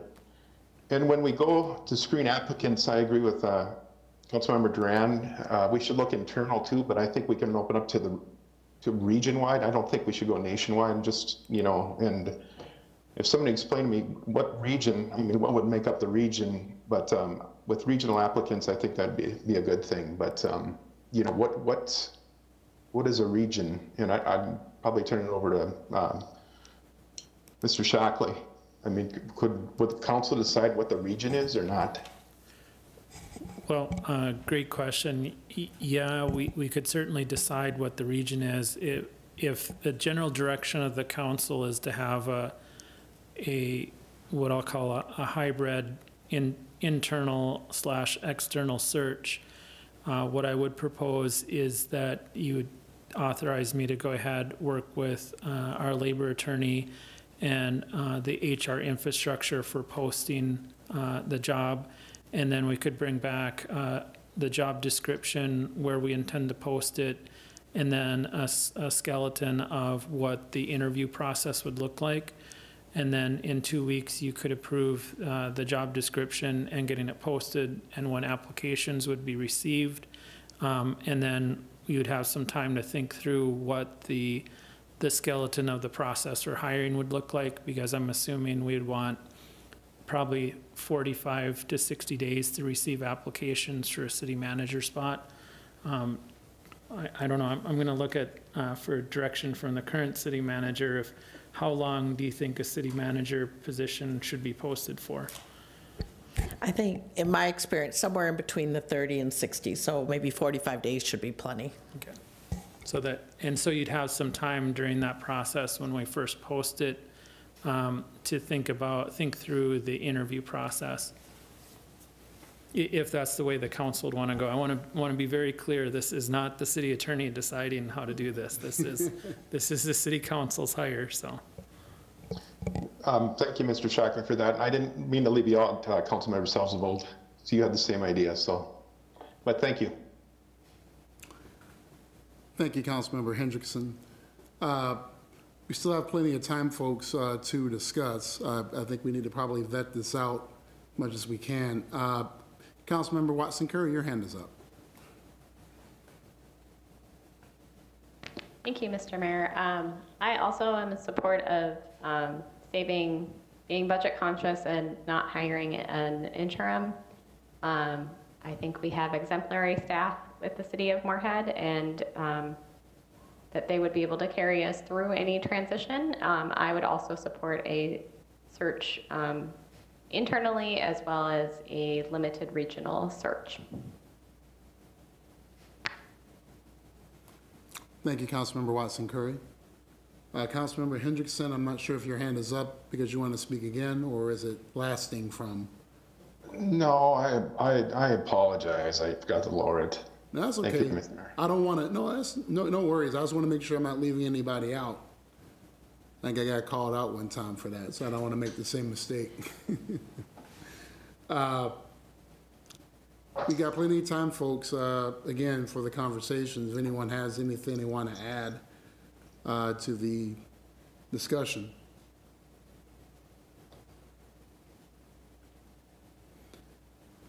And I'm just throwing it out there because I think I've got a half and half about where people are sitting regarding what they want to do. So if somebody is wanting me to speak, in case I have to break any type of a tie, I can put it out there to say that, um, you know, I think as far as where I'm sitting, I brought up the, uh, the conversation at the uh, last meeting primarily, and I stick to that because of uh, where we're at with our uh, budget uh, process and also, you know, wanting to be fiscally responsible about doing the search. But I also will say that a portion of that, well, I'm going to say a portion. The second part of that is we're talking about, and again, I've had a bunch of conversations with a lot of folks uh, on the equity and inclusion piece, and we're looking at how hard it is to get law enforcement officers uh, to come to Fargo Moorhead, generally speaking. And we're looking at a lot of uh, a lot of issues regarding trying to get folks uh, and more diversity in our hiring. One of the things that was proposed by a lot of entities, at least on the Moorhead, and Minnesota side, is that we look at growing our own. Um, and by growing our own, for those uh, communities that wish to live here, uh, they would have, and again, we can talk later about what this looks like, whether it's through scholarships or, or, or you know, somehow making sure that people who choose to live here, who want to live here, have an opportunity to grow within our own community. Um, if they go to college here, they want to make their home here, raise their family here. Uh, maybe that's another aspect of, of diversity and, and, and, and making sure that we're going towards those equitable and inclusive outcomes. Circling back to part of where I was going at earlier is if we have, as council members have already stated, strong folks here who have grown, and I'm speaking multiple because I'm assuming that there may be multiple applicants within um, our city staff that may have an interest in applying. If we're focusing on growing our own and giving those opportunities, that was one of the reasons, another reason why I was considering us think about the fact that we look at internal applicants because if they're working within our city, and we've had really exemplary leadership within our staff, with our policymakers, we should be able to give first, first shot to those that we're preparing to lead. So that was kind of my two-pronged approach about having us rethink this from a, from, from a fiscal standpoint, but also, I think, from an ethical and maybe just a community standpoint, too. That uh, we've got people who've worked in, in our city staff for years. They maybe deserve to have a shot if the chance comes up to step up into leadership. So if we have multiple internal candidates, that's a great thing, right? Because it means that we're doing what we're supposed to be doing to groom leaders. So that was my approach. Now, I'll be upfront to tell you, I'm not sure where I'm at with the regional approach and what region looks like. I think we need to be more definitive if we're looking at Red River Valley region, North Dakota, Minnesota, Iowa, South Dakota. If we're looking at doing something above and beyond the internal, or if this is a part of the internal with the region, that's where I need to get more input from you all. Um, So based on that, I see Councilmember Durand has her hand up. I'll defer to you. Thank you, Mr. Mayor. Um, I, I guess, uh, I don't, uh, I don't need to, to see the regional piece in there. Um, if we go through an internal process and we, we don't come to a conclusion on a can, on a, on a, on a person, we can always expand it and open it up at that time. Um, I, you know, I'm, I'm just, uh, I guess I was trying to be a little bit flexible, but maybe was too flexible. Um, but I'd like to see an internal process done.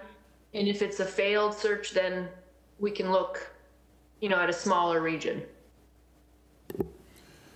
Thank you for that clarity, Councilmember Durand. And I want to be clear, no, no ideas are off the, uh, the uh, table. I mean, I, you know, again, I'm, I'm, I'm- I'm wide open. I just threw it out there last time with those considerations.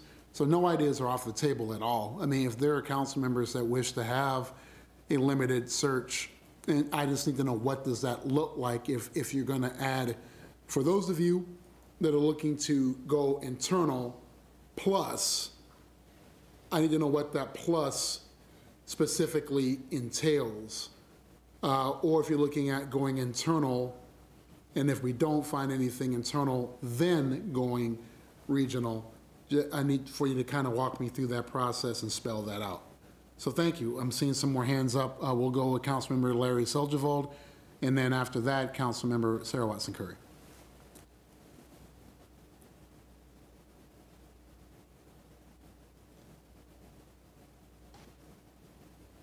I can't hear Councilmember Seljevold if you're speaking. Oh, I'm sorry, my computer froze up if you called on me. No, no, that's okay. Go ahead. You're, you're up. Okay, I'm sorry. I had a panic there when my computer froze. I've been there. Well, one of the things I think about looking externally, and then, because you don't really know who you're gonna get. You can get somebody very qualified who may be very impressive. I, I look at it this way, we, we have a closing date on applicants, let's say in 45 days. You can bring in the internal people in the next five days, and then if you're not satisfied, then you go on the 6th and 8th or whatever day out there, then you call in other people. So you are, you're kind of taking care of the internal people right away, and then seeing, having a chance to see what's out there, because you just, you just don't know who you're gonna get. And I, I, I guess Councilmember Lindaas, I'm gonna use your alma mater as an example. When uh, St. Olaf uh, lost their track coach, they went searching, and lo and behold, the University of Minnesota track coach applied for the job. He went from Division One to Division Three, which is kind of unheard of. So that's kind of my point. You never know who is going to apply. That you need to look outside. At least give those people because you just don't know. I'm Saying we don't have many great people inside. We do, but you don't know. So thank you. Well, thank you, Councilmember Seljevold. Before I pass over to you, uh, Councilmember Watson Curry, I think uh, City Attorney Shockley wants to speak to Councilmember Seljevold's point. Yeah, uh, thank you, Mr. Mayor. One quick point, uh, I'd want to research the issue of if you had a a hybrid search process, if you could close that out to, you know, if you have a step process where you look at internal candidates first. I think if you're advertising a pool, you need to interview from that pool. So you'd want to define what that pool is before, you know, and you, like, you couldn't, you couldn't segregate out the internal candidates first, interview them, and then uh, interview the external candidates, if that's your pool. I think there's uh, some potential Minnesota pay equity issues in doing that, um, that you would, you would run into with, if you tried to divide up the pool. So I think you'd want to, and we do need to check it for sure, but you'd probably want to do an internal hiring process first if you're going to do that, or do a hybrid process, you know, just, just define your pool of applicants uh, before you start the process, so you know who you're picking from. Does that bring about anything, uh, Councilmember Seljevold, do you want to take some time to marinate on that? I- I'm not an expert in human resource, so I, you know, I, these things wouldn't have occurred to me. So, yeah. No, that's all good. Neither am I, man. That, that's why I want us to talk it through so we can get it right this time. So, not a problem at all. Uh, Councilmember Watson Curry, your hand was up and I don't see it anymore, but if you wish to be heard, go right ahead. I did. I didn't want to forget it. That's all right. Um, uh, So Councilmember Seljevold had a compelling example about that um, opportunity to have a regional search. I, I, I guess I'll pull back and say I would prefer us to um, focus on an inter, internal hire process first, and then if we decide it's not adequate, then we can cast our net a little bit wider. Um, So I think eliminating that hybrid option that um, Attorney Shockley presented. So I would, my, my vote, I'm leaning towards um, an internal posting. Thank you. Thank you, Councilmember Watson Curry, for your words. Uh, Then we'll pass it on to Councilmember Durand. Sorry, sorry, you can scold me. I forgot to take my hand down. No scolding needed. We're not scolding anybody, at least regarding this situation.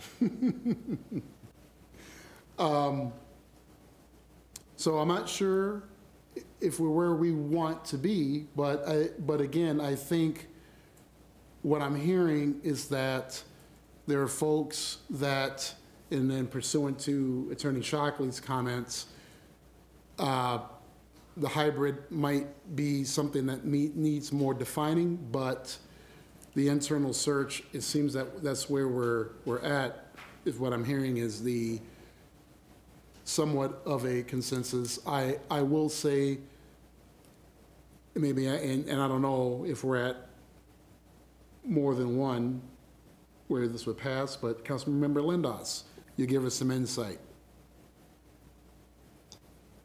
I did not mean to interrupt you, Mayor Judd. No, I was, I was you just trying to, no worries at all. Go right ahead. You're good. Thank you, Mayor Judd.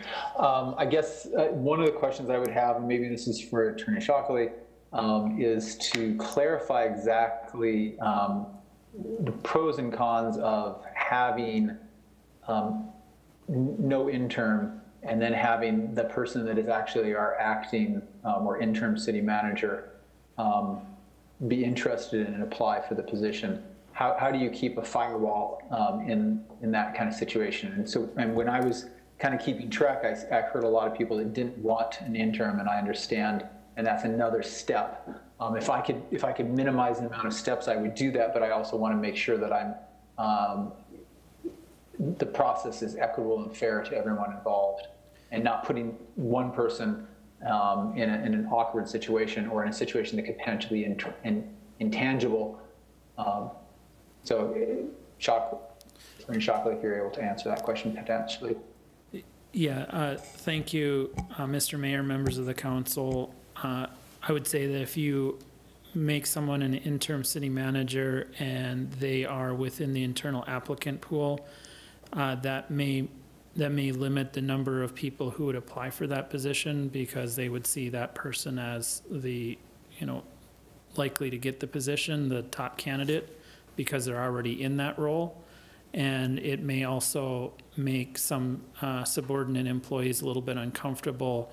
It, can you imagine if you're the subordinate employee, you apply for it and you get the job, and now you're working with somebody that you were, was previously your uh, boss. And so I think that's, that's one, uh, one consideration. I, I would note, I, I, I understand there's al- always a desire to promote internally, but I, I did feel that it's important to share with you that uh, I did have a client that uh, only interviewed internally. They hired someone, they were not happy with that person, um, and it didn't didn't go well. And I think if they would have had a, even a, a process where it's even just regional interview process, they would have had more people compete for that spot.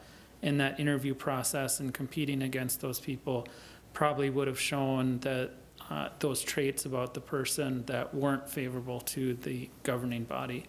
And so it, to me, it's always good to have an interview process and to have some competition put into the process. I think it's through competition and through challenge that you pick uh, probably stronger candidates. Or if you have a strong candidate, they'll learn from the process, and when they come out the other end, they are even stronger than when they were start, when you started the process. That sounds uh, fair, Attorney Shockley. Thank you for sharing that. Uh, I think, folks, uh, and also I think the bigger picture too, we should consider is we want this process to be very, very fair and transparent um, with as much engagement that we can get uh, from folks in the community. I know that is something that I think is important to uh, all of us. So I think that might be also a big consideration as we make this decision moving forward as well. So transparent, the more transparency, the better. And what that looks like, I guess we're gonna have to figure out. If we need more time, we can uh, put it back on. I see a couple hands up. I see Councilmember Carlson, your hand is up. You may go ahead. Thank you, Mr. Mayor. Um, I know that many of you have mentioned um, budgetary issues. Um, I don't think that we really can put a monetary amount on ensuring transparency and a fair process. Um, I know that one of the advantages to having an interim city manager is that it then provides a fairness to internal candidates. Um, like City Attorney Shockley was saying, that it doesn't create this unfairness perception that there's just been like a quote unquote chosen person or, or anything along those lines. Um, I also think it's important to remember that City Volker or City Manager Volkers will be leaving us, um, and so that salary um, could be utilized towards paying for an interim city manager. Um, I think that it's very important to try to like Mayor Judd said, to be as tra transparent as possible and to make sure that it is fair to everybody applying. And I, the other question I had, um, Mr. Mayor and, and City Attorney Shockley, would tonight's decision be first and foremost to determine if we are going to move forward with hiring an internal city manager um, or maintain um, the acting city manager as an interim and then give us a little bit more time to ruminate on, it would be internal, external, I would imagine that the job description is going to be the same um, and a very similar interview process. So, um, it, I, I could suggest some, uh, sometimes when, uh, you're facing a complex problem, it's easier to take it in smaller bites. And so maybe the easiest way is to separate out each of the issues. Uh, and so tonight you could make a decision about whether or not you want to hire an interim city manager. Uh, give some thought about the hiring process for city manager. Uh, you could always defer that, but make a decision tonight about do you want an interim city manager or not? That's a very discrete question then. Um, and then if you don't, then you would just uh, make a motion very clearly that the acting city manager has all of the scope and authority of the city manager. So maybe that's an easier way to approach it, take it in smaller, smaller bites. Thank you, City Attorney Shockley. And, uh, you know, again, really good points brought up by City Attorney Shockley. The biggest issue that I, I want to address real, real talk, folks, is that we have a lot of things going on in our city. Uh, Obviously, businesses are watching, developers are watching. We have a lot of hot items on the plate. We can't kick this can down the road. Um, We really need to, we really need to, I mean, I, I know it's a tough decision. We've made them before. I believe in each and every one of you all.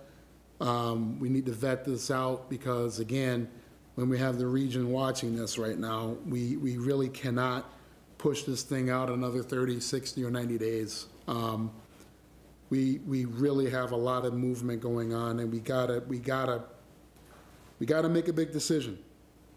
I mean, that's, whether it's tonight, I really would like, not like to see it happen another month uh, because of the momentum that we have going on. Um, Obviously, we're going through a lot of stuff with our equity and our inclusion efforts in the city. Uh, We just, I don't know. So I see, I'm going to get, pass it over to Councilmember White, because she has not had a chance to speak yet. So Councilmember Hendrickson, just so if you're listening, I need to step away from the dais for a few moments. Uh, Okay. but- So I'm going to pass it to you, but I want to recognize Councilmember White and Councilmember Seljevold, if you just want to make a note uh, of that, and I'll be back in just a moment. Thank you. Thank you, Mr. Mayor. Councilmember White? Yeah, I don't really have much to add. I would just say, uh, to me, it's not just a matter of the cost. I think that this time, um, bringing in somebody who is not familiar with the community, with everything that we're going through, um, is a little scary. And I'm, uh, and in particular, after we heard from our previous mayor, um, that it didn't go that well the last time, I think, given the conditions that we have now, I would have even more trepidation. So I would actually, um, be uh, in favor of extending the duties of our acting city manager, and I'm happy to make that as a motion, um, based on what Mr. Shockley said, that we need to um, to have the acting city manager continue with all of the uh, responsibilities of the city manager. Okay, so my understanding, Councilmember White, is you're making a motion right now. Yes. That's my motion. Okay, and we will get to Councilmember Seljevold in a second. Um, Does anybody, can I get a second on that? Somebody- Dahlquist, second. Okay, so we got a motion by Councilmember White and a second by um, Councilmember Dahlquist. And I do believe, Councilmember Seljevold, you're, did you want to speak?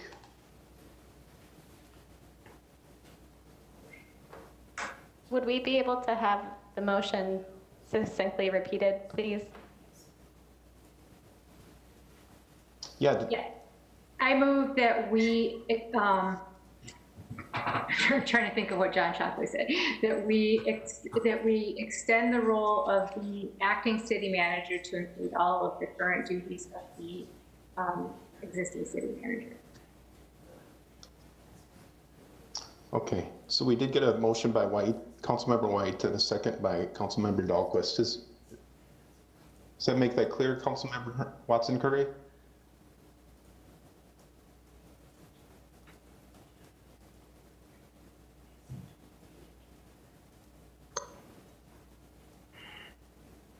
This is, this is, uh, Councilmember Dahlquist, and uh, wasn't that to include the interim, that the sitting, acting city manager would be the interim, take the place of the interim? Is that what you meant, Councilmember White? Right, right. Okay. Okay, so we do have a motion by White and a second by Councilmember Dahlquist. Councilmember Seljevold, do you, did you wish to speak? Well, I, I have no, I have no problem with this motion, that's, but I, um, what I was going to suggest is that Mr. Shockley talked about a job description. Could we ask that a, a job description be given to us at our next council meeting? And then, did he have something to do with HR? That, uh, either work together or some sort of have a plan so we can tie maybe that motion in with a few other things? To get kind of things done here. So again, if- I, I'd like to see like a job description if that needs to be done at the next meeting that we can approve it. Figure out the time, how much we're gonna give and, and decide how far we're gonna open it up at the next council meeting. Okay. But the motion's on the floor, that would have to be, and then it's kind of off that motion. Okay. Um, Councilmember Hendrickson, just so you know, I am back. Okay, cool. Just so you are aware, um, City Attorney Shockley wanted to speak on uh, something real quick here. Yeah, um, ap- appreciate the uh, uh, amendment to the motion to add in the, uh, bring back the city manager job description, which is already drafted. Um, We could also bring back uh, the parameters of what the advertisement uh, for the position would look like. Um, And then a proposal for um, uh, kind of the you, you could potentially uh, just direct us to go ahead and assume it's an internal and uh, small external search, and then make the final decision in two weeks if, if you want us to advertise it external. But then we have everything ready to go. Uh, And so if you say hit uh, external, we can hit send, or if you want to keep it internal, we can, we can pare back the, the process. Okay, I missed the um, motion and the discussion. Thank you, Councilmember Hendrickson, for filling in uh, for me. So It's hard to do this job remote, by the way. I, I appreciate it. So I'm not sure if there's any further discussion. I do see two hands up still on my screen. Uh, Councilmember White, Councilmember Dahlquist, if you want to be heard. Thank you, Mayor. My, my uh, reason for phrasing it that way was just to split the two actions. So ba- based on uh, Mr. Shockley's recommendation, one would, so that's why the, this motion would just be for um, making the decision whether we're having an interim or not. And so, and then my assumption was that then we would discuss, since there seems to be still some things to work out in terms of what that, what the search would look like for the permanent position. So that's why I split those two. So that's why I only included um, in my motion that we would make the decision tonight regarding um, whether we would keep uh, our acting city manager uh, and not have an interim. Not a worry at all. Um, I just wanted to be sure I was caught up on um, what was decided in the motion. So um, not a problem at all. I think uh, if everyone is feeling comfortable with that, is there any uh, further discussion? City Attorney Shockley. And, and just to make clear, uh, the motion, the motion is only to designate uh, or to authorize the acting city manager to have all the full authority of the city manager. And that's all that's included in the motion. I just want to, want to be clear on Okay. what, what I'm supposed to be doing or not doing, so. No, that's cool, because I wasn't here to hear it, so now I'm still getting caught up. So I want to be sure we're, we're on the same page. Madam City Clerk, you, that's okay, go ahead, it's, so it's not a problem. So then nothing to do with the job description being brought to the, okay. I, I'm just assuming we can still talk about that separately, just keeping this clean in one act. No, that's, no, that's a good idea, Councilmember White. Thank you for doing that. I think, uh, again, we want to get it right, folks. I mean, this is a pretty big deal for our city and our future. So we don't want to, uh, take this decision lightly. Uh, just know that, I mean, I've, I just want to make sure that I'm clear about what I said earlier, that, I mean, we got to kind of, we got to, it's a big decision. We can't wait on it. So by the time we come back, we need to have this uh, finalized. The public's watching and, uh, a lot of folks are as well that want to invest in our city. So, uh, are we clear on the motion, Madam City Clerk? Uh, City Attorney Shockley, we're good? You know what's, Yeah, I think it's just a single motion right now. Yep. And then we can talk about the, what the council wants to do for the hiring process. okay, not a problem. I see hands flopping up. Is it that, okay, now they're gone. I just want to make sure I'm not missing anybody. All right, any further discussion on this item for this evening? Good job, folks. I like it. Madam City Clerk? So just to clarify, I've got a first by Councilmember White and a second by Councilmember Dahlquist to have acting city manager carry all the scope and authority of the city managers. And just to be clear, folks, this is uh, another three weeks uh, for the next meeting. So when we come back, it's going to be go time in what we do. So just so you're aware. All right, Madam City Clerk, please. Dahlquist, Yes. Watson Curry, Yes. Carlson, No. Durand, Yes. White, Yes. Seljevold, Yes. Hendrickson, Aye. Lindaas. No. Motion carries. Thank you, folks, for that discussion. Um, Again, more to come, but I really do appreciate everyone um, speaking on it. So we'll see what happens. All right. So that moves us on to item number 16, mayor and council reports. You see hands are up, Councilmember White and then Councilmember Lindaas. Oh, wait, I'm sorry, did I miss something? Um, Mr. Mayor, I'm sorry. I think when you stepped out, I think Councilmember White said she wanted to deal with that, and then you guys could go into the longer term. Oh, my, my apologies, I'm sorry, that. I think, my- right?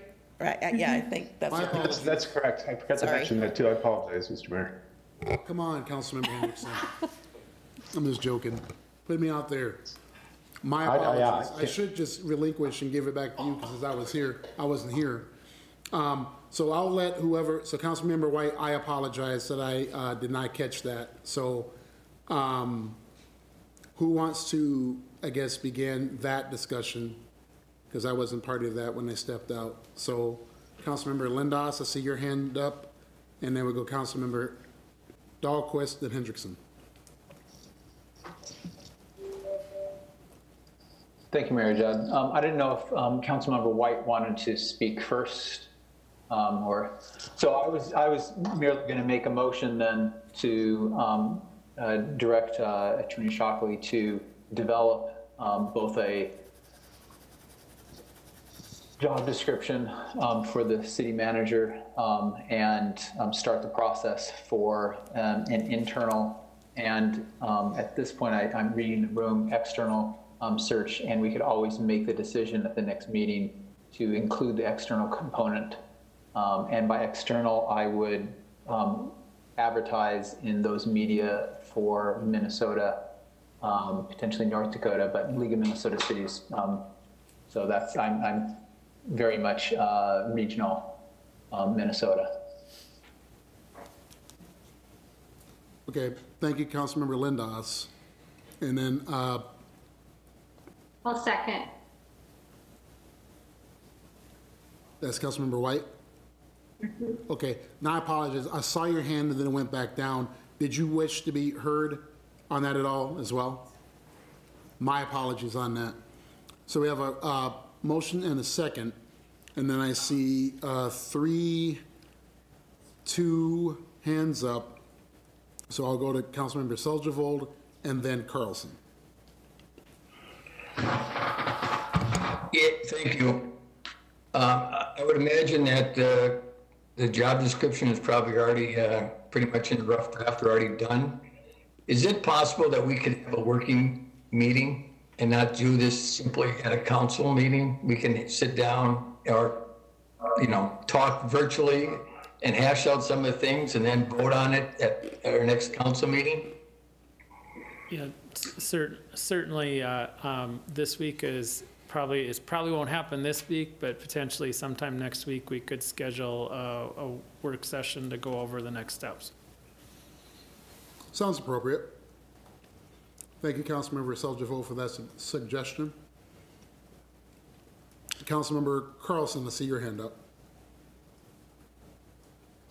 Oh, thank you, Mr. Mayor. I should have taken it down. Uh, Councilmember Seljevold brought up um, the point that I was going to ask, um, which was that there is already a, a job description developed. So I don't know that there is a, there isn't any development needed necessarily for the job description.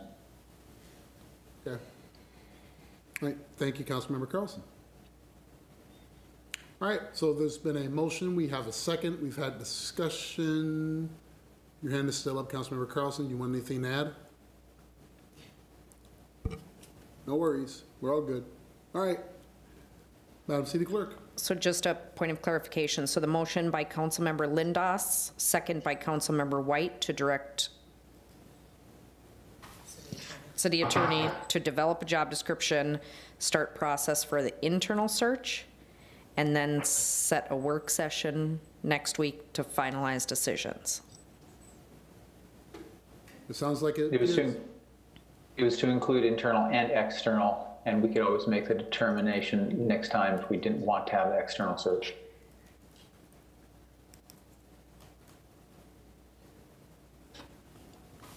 Okay, so to develop job description and start process for internal and external search and set meeting to have a work session next week to finalize decisions. All right, uh, Unless there's an issue, do we have it together? All right. All right, Dahlquist, Yes. Watson Curry, Yes. Carlson, Yes. Durand, Yes. White, Yes. Seljevold. Yes. Hendrickson, Aye. Lindaas.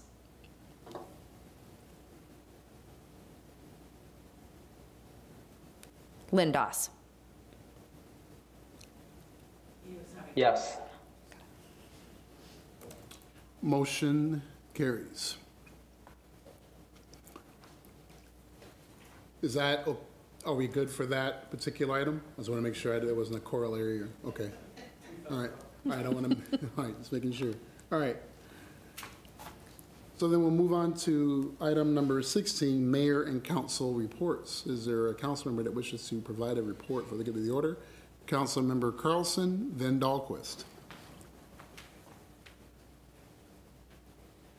Thank you, Mr. Mayor. Um, Just wanted to give an update from the Lake Agassiz Regional Library Board, which met last week. Um, Some very interesting statistics online, online library card applications since COVID happened. 960 new people have signed up for library cards. Um, Also, there's been a 30% increase in requests for ebooks, and currently 6,900 um, individuals have books on hold um, for that. The Hoopla service, which is an online movie, TV type subscription service, um, it has been used very frequently. Um, when we talk about access and talk about um, ensuring that everybody has uh, the resources in our community, this is one that I think has been really helpful. Um, and they've gotten a lot of feedback, particularly from homeschooling um, families, that this has been very helpful. Also, the Department of Education provided funding to the library um, to be able to purchase Wi-Fi hotspots that can be checked out for free with unlimited data um, for two weeks at a time. And I think that that is also going to be extremely helpful. There are um, numerous online programs that now have been integrated into the library um, offerings to the public.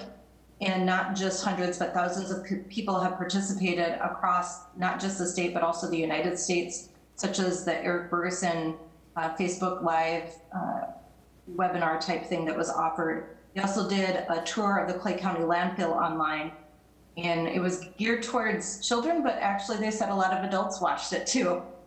Um, what else? They're going to continue curbside delivery. And a very interesting new partnership that the LARL Board is going to be doing is with DEED, Minnesota DEED, um, and Workforce Development to reevaluate in-person services within our library systems um, and really focusing on helping people get back on their feet after COVID. Uh, so I think that that is um, incredible that our library system is kind of stepping up to do that. They will be opening the library uh, for in-person services, I guess, um, probably July 1st. Uh, for the computers, you will need to sign up, um, and it will be a limited amount of time to allow library staff to wipe it down and sanitize and things of that nature. So uh, I just want to give a huge shout out and kudos to uh, our local library staff and the LARL Board for all the work that they've been doing during COVID to really provide that access to our community. That, that's all. Thank you, Mr. Mayor. Thank you, Councilmember Carlson. Uh, Councilmember Dahlquist. Thank you, Councilmember White. Thank you, Mayor. Um, I want to thank our transfer station for letting us dump some, some junk that we can't keep on our boulevard till the fall with the free pickup.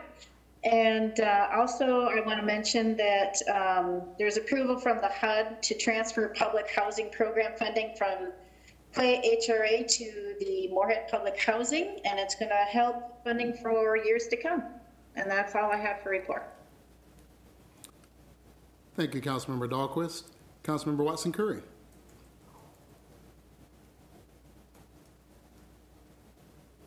Thank you, Mr. Mayor. Um, I just wanted to note two items of gratitude. Um, First, just a blanket statement. I'd, I'd like to thank those who um, who are helping us move forward and, and helping us illuminate our own blind spots. So um, we'll just leave it at that. And secondly, I wanted to um, thank um, City uh, Manager Chris Volkers and say, Chris, I thank you for your humans work to the City of Moorhead, and you've served with passion and distinction. And I think it, your tenure has had a a very positive um, influence on our community.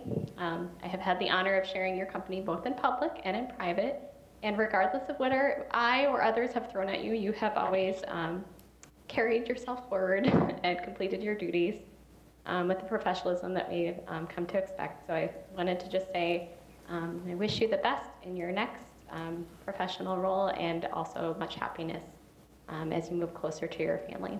That's all I have. Thank you. Thank you, uh, Councilmember Watson Curry. That was uh, well, well said. Thank you. Councilmember White. Thank you, Mayor. I just wanted to mention that the Moorhead Human Rights Commission will hold their uh, meeting this Wednesday at 4:30, and they're very eager to get citizens' input. Um, You can find the information on the City of Moorhead webpage at part of Join Remotely. uh, And they will also be doing a series of listening sessions, so that information will be shared publicly as well. And I'll just uh, chime in with uh, Councilmember Watson Curry's comment to thank City Man- Manager Volker for her service to our community and that we wish her well um, in this new big adventure and, and are very happy that she has the opportunity now to be closer to her. Thank you, Councilmember White. Really appreciate that, and thank you for the shout out for the uh, July uh, 1st event with the listening sessions upcoming. Uh, See Councilmember Hendrickson, then Lindaas. Uh, Thank you, Mr. Mayor. I just want to echo Councilmember White and uh, Councilmember Watson Curry. Thank you, Chris, for a great three years. Um, We've come a long way since when you first started, and it's through hard work and dedication and working well with council. So I really appreciate your efforts, and uh, even though I hate to see you go, I wish you the best of luck in your future. So thank you very much. Appreciate it. Thank you, Councilmember uh, Hendrickson. Really appreciate that. Uh, Councilmember Lindaas. Um, I guess I can echo um, what my fellow council members have also said. Um, Chris, I, I probably knew or I haven't worked with you or had the privilege of working with you as long as they have, um, but I've, I've certainly enjoyed the opportunity um, and your patience in dealing with potential questions and other issues that I might have brought up um, shows, uh, well, it helped, it's helped me, helped me grow in this role. So I'll miss you. Um, I wanted to echo, I guess, um, I do want to say that um, I, I noticed our library was back up because um, all of a sudden I got a notice for um, overdue books. So I'll be bringing those back um, uh, to the library and potentially help with getting more now. Um, but uh, there's a, there, there are things going on in the city now. We're starting to open up. And um, besides the listening sessions for the human resource um, uh, um, commission that, that's happening. I also want to um, point out that there's other activities. Um, you can get them, uh, see what's going on on our website. Um, the farmers market is active now, um, as well as the Streets Alive event is going to be coming up, which will be really nice. You can be socially distanced as you bike and walk and um, around around the cities. Um, I did want to bring up one meeting that people went to. This is a project being hosted by Churches United, the Silver Linings Apartments. And um, this is a, it was an informational meeting that was really nice to see um, a well thought out um, uh, possible project can really benefit our region. And if people aren't familiar with that, I would also urge you to, um, uh, or I encourage you to um, learn more about it and how, how it can help our, our region. Thank you. Thank you, Councilmember Lindaas, and also thank you also for the shout out uh, for for the uh, Silver Linings. um, I guess you can call it a meeting or webinar or meeting. Um, A lot of good, good information, and thank you for the council members that uh, were able to make that.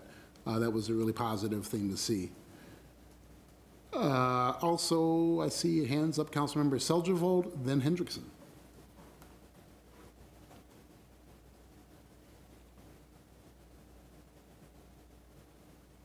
No, no Councilmember Seljevold I see the hand.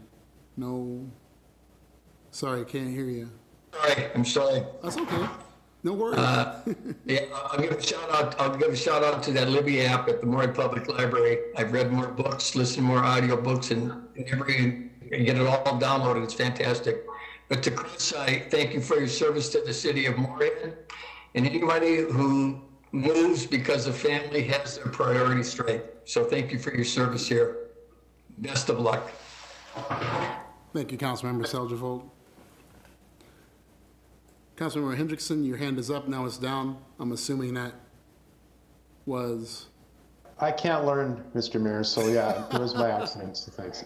hey, we're- we all are learning. We all are learning. Anything else anyone else wants to share for the uh, good of the order from the reports? Okay, I'll uh, get into my mayor report. Uh, I'll try to be brief with my uh, shout outs here. Shout out to MBA, Let's Talk Business. Uh, Thank you for the folks that were uh, in attendance. If I'm not mistaken, I think my notes reflect somewhere close to 40 people or more that were there uh, for that. We talked about, uh, with, uh, also with Chief Shannon Monroe, we talked about uh, law enforcement, their connection with the community, how businesses can be allies in this effort to connect our communities together uh, when, with the lens of equity and inclusion. So thank you uh, to Sherry uh, for putting it out, Sherry Larson for putting it out. It was a great conversation, positive, positive uh, meeting. Also, uh, just so folks know, I have been meeting frequently with the mayors from uh, Barnesville, Dilworth, Hawley, and Glyndon, talking about potential partnerships in economic development, workforce development, how we can all uh, be in this together, primarily because of the budget uncertainties from uh, St. Paul. We may be looking at uh, each other and how we can work together to build coalitions as we look at uh, infrastructure projects and there beyond. Uh, Also, a shout out to President Craft for meeting with me uh, to talk about equity and inclusion efforts that are taking place at, at Concordia College. Also uh, attended the Greater Fargo Moorhead Economic Development. uh, Is it corporation or committee? I keep. Committee, that's what I thought. Um, Too many acronyms for me to try to remember all. Uh, But nevertheless, a really good meeting there. Uh, Joe Raso talked about the EDC putting together a uh, task force uh, to discuss uh, racial equity and inclusion in our, in our region, and our primary sector businesses uh, can be a part of that. So if there's anybody on the council um, or anyone uh, within our community, re- regardless if it's council, MBA, I want to make sure that Moorhead and Clay County are a part of that conversation, need some strong voices that are willing to listen and learn about that. Please let me know. Uh, Also had the opportunity to speak at the chamber, the FM chamber regarding uh, the professionals of color. Again, had about 38 to 40 folks there. Really good conversation about uh, folks wanting to be interested in the, uh, in, uh, regarding business, entrepreneurship, the political process, young leaders that are trying to make their way throughout the region. Um, Really positive uh, talk in that um, arena as well. Also signed two proclamations, one for the Juneteenth celebration. Thank you to Mayor Mahoney for co-signing on that. I thought the proclamation language was excellent. Also, the uh, Home Builders Association um, Home Ownership Month, also signed it as a proclamation, again, with the council. And for those that don't know, now you know, that we are here about affordable housing, promoting safe communities, promoting the, the fact that we want to have everyone in this city be uh, granted and, and provided the avenues for access uh, for uh, homeownership, or at least the opportunity to be homeowners in this community. So thank you to all people and entities who have been supportive in that effort. Also attended the uh, MetroCog Policy Board, uh, still moving forward on the Highway 10 corridor. Uh, Thank you, Councilmember Lindaas, for mentioning the silver linings. Also, uh, shout out to Pastor Sue for putting that together and her, and her team, Brent Brandt. Uh, And again, to Councilmember Lindaas's point, please feel free to go and check that out. It's, it's going to be great for those who are 55 and older that are homeless and trying to maintain a safe and healthy lifestyle and community. Also, thank you to Councilmember White for mentioning the human rights, uh, human rights gathering that will take place on July 1st. And I want folks to know, it doesn't matter what walk of life you come from, what your ethnicity, your gender, your uh, uh, sexual orientation, however you see fit, please come to listen, learn, and have, and have your voice heard. Uh, This is a a conversation that needs to take place throughout our- our community. It's more important for people who have been historically disadvantaged to tell their stories. And again, as I've been uh, stating, stating throughout this whole last three weeks, listening with humility. Uh, Again, if we're going to come together as a community, it is good to be able to listen to the stories of those who live in our community and find out how we could become closer together. And with all of that, before I pass it over, the last meeting with our city manager, who has been a very important person in my growth uh, as a leader. Uh, I know that uh, when I came on board, you're kind of wondering, what does this guy know? Am I gonna like cause, you know, you a lot of problems? Probably well worth questioning, but I do honestly, from the bottom of my heart, appreciate the work that you have done.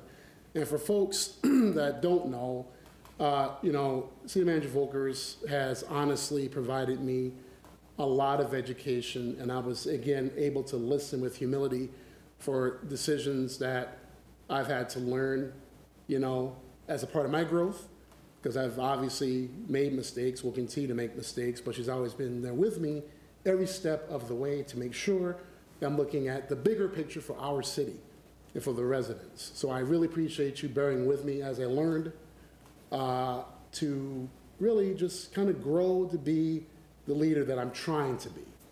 So thank you for the tireless work. The emails coming at 1 o'clock, 2 o'clock in the morning, uh, so that we can prepare to do what's best for our city.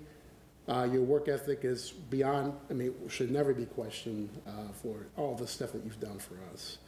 So I guess just really I owe you a sense of gratitude, professionally, personally, and also for the residents and the, and the folks eh, within our city, our city staff, our city council. Thank you.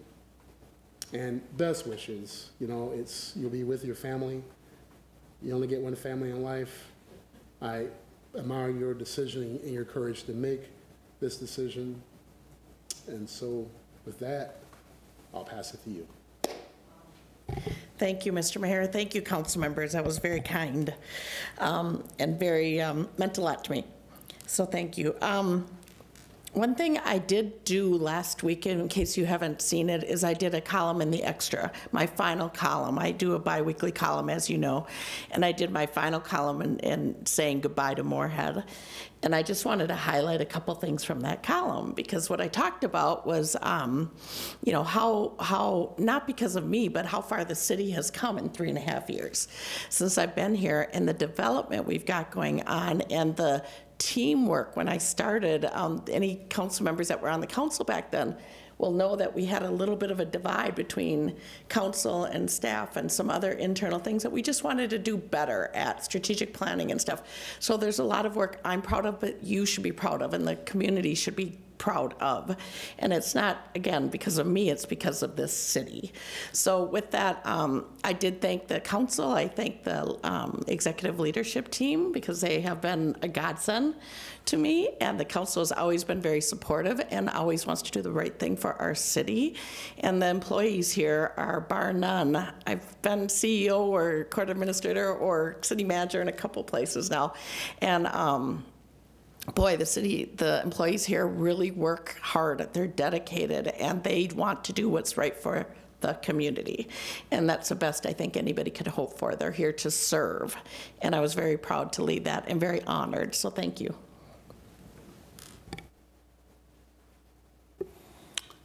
Thank you, uh, Madam City Manager, and uh, again, uh, best wishes for you and your family in the future. And obviously, if you ever want to come back and visit, you know, we'll, we'll definitely be here.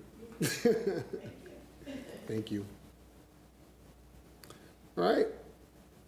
Then we're moving on to item number 18, executive session, which provides 18A, executive session pursuant to Minnesota statute, sec- section 13D.05 subdivision 3, paren C, paren 3, for the purpose of developing offers or counter offers for the sale of a portion of Woodlawn Point, generally described as an area between the Red River and Woodland Park Drive and lying north and south of Fifth Avenue South.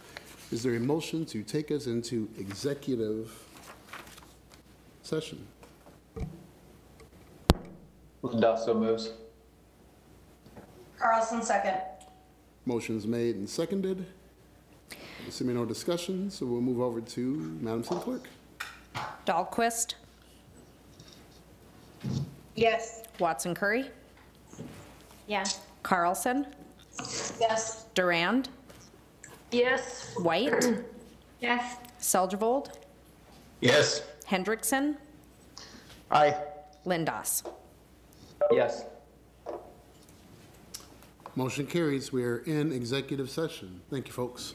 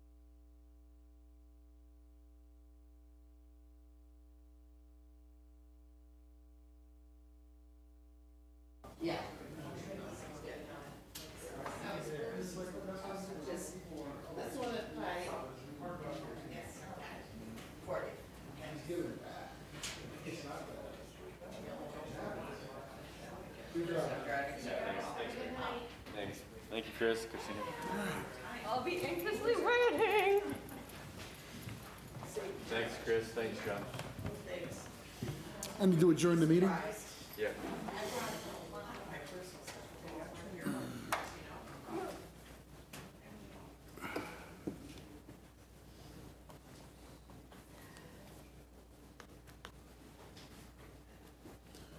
Let me know when you, uh, I'm good? Okay. It is 9:06 PM, and we will adjourn the meeting for this evening. Good night, Moorhead.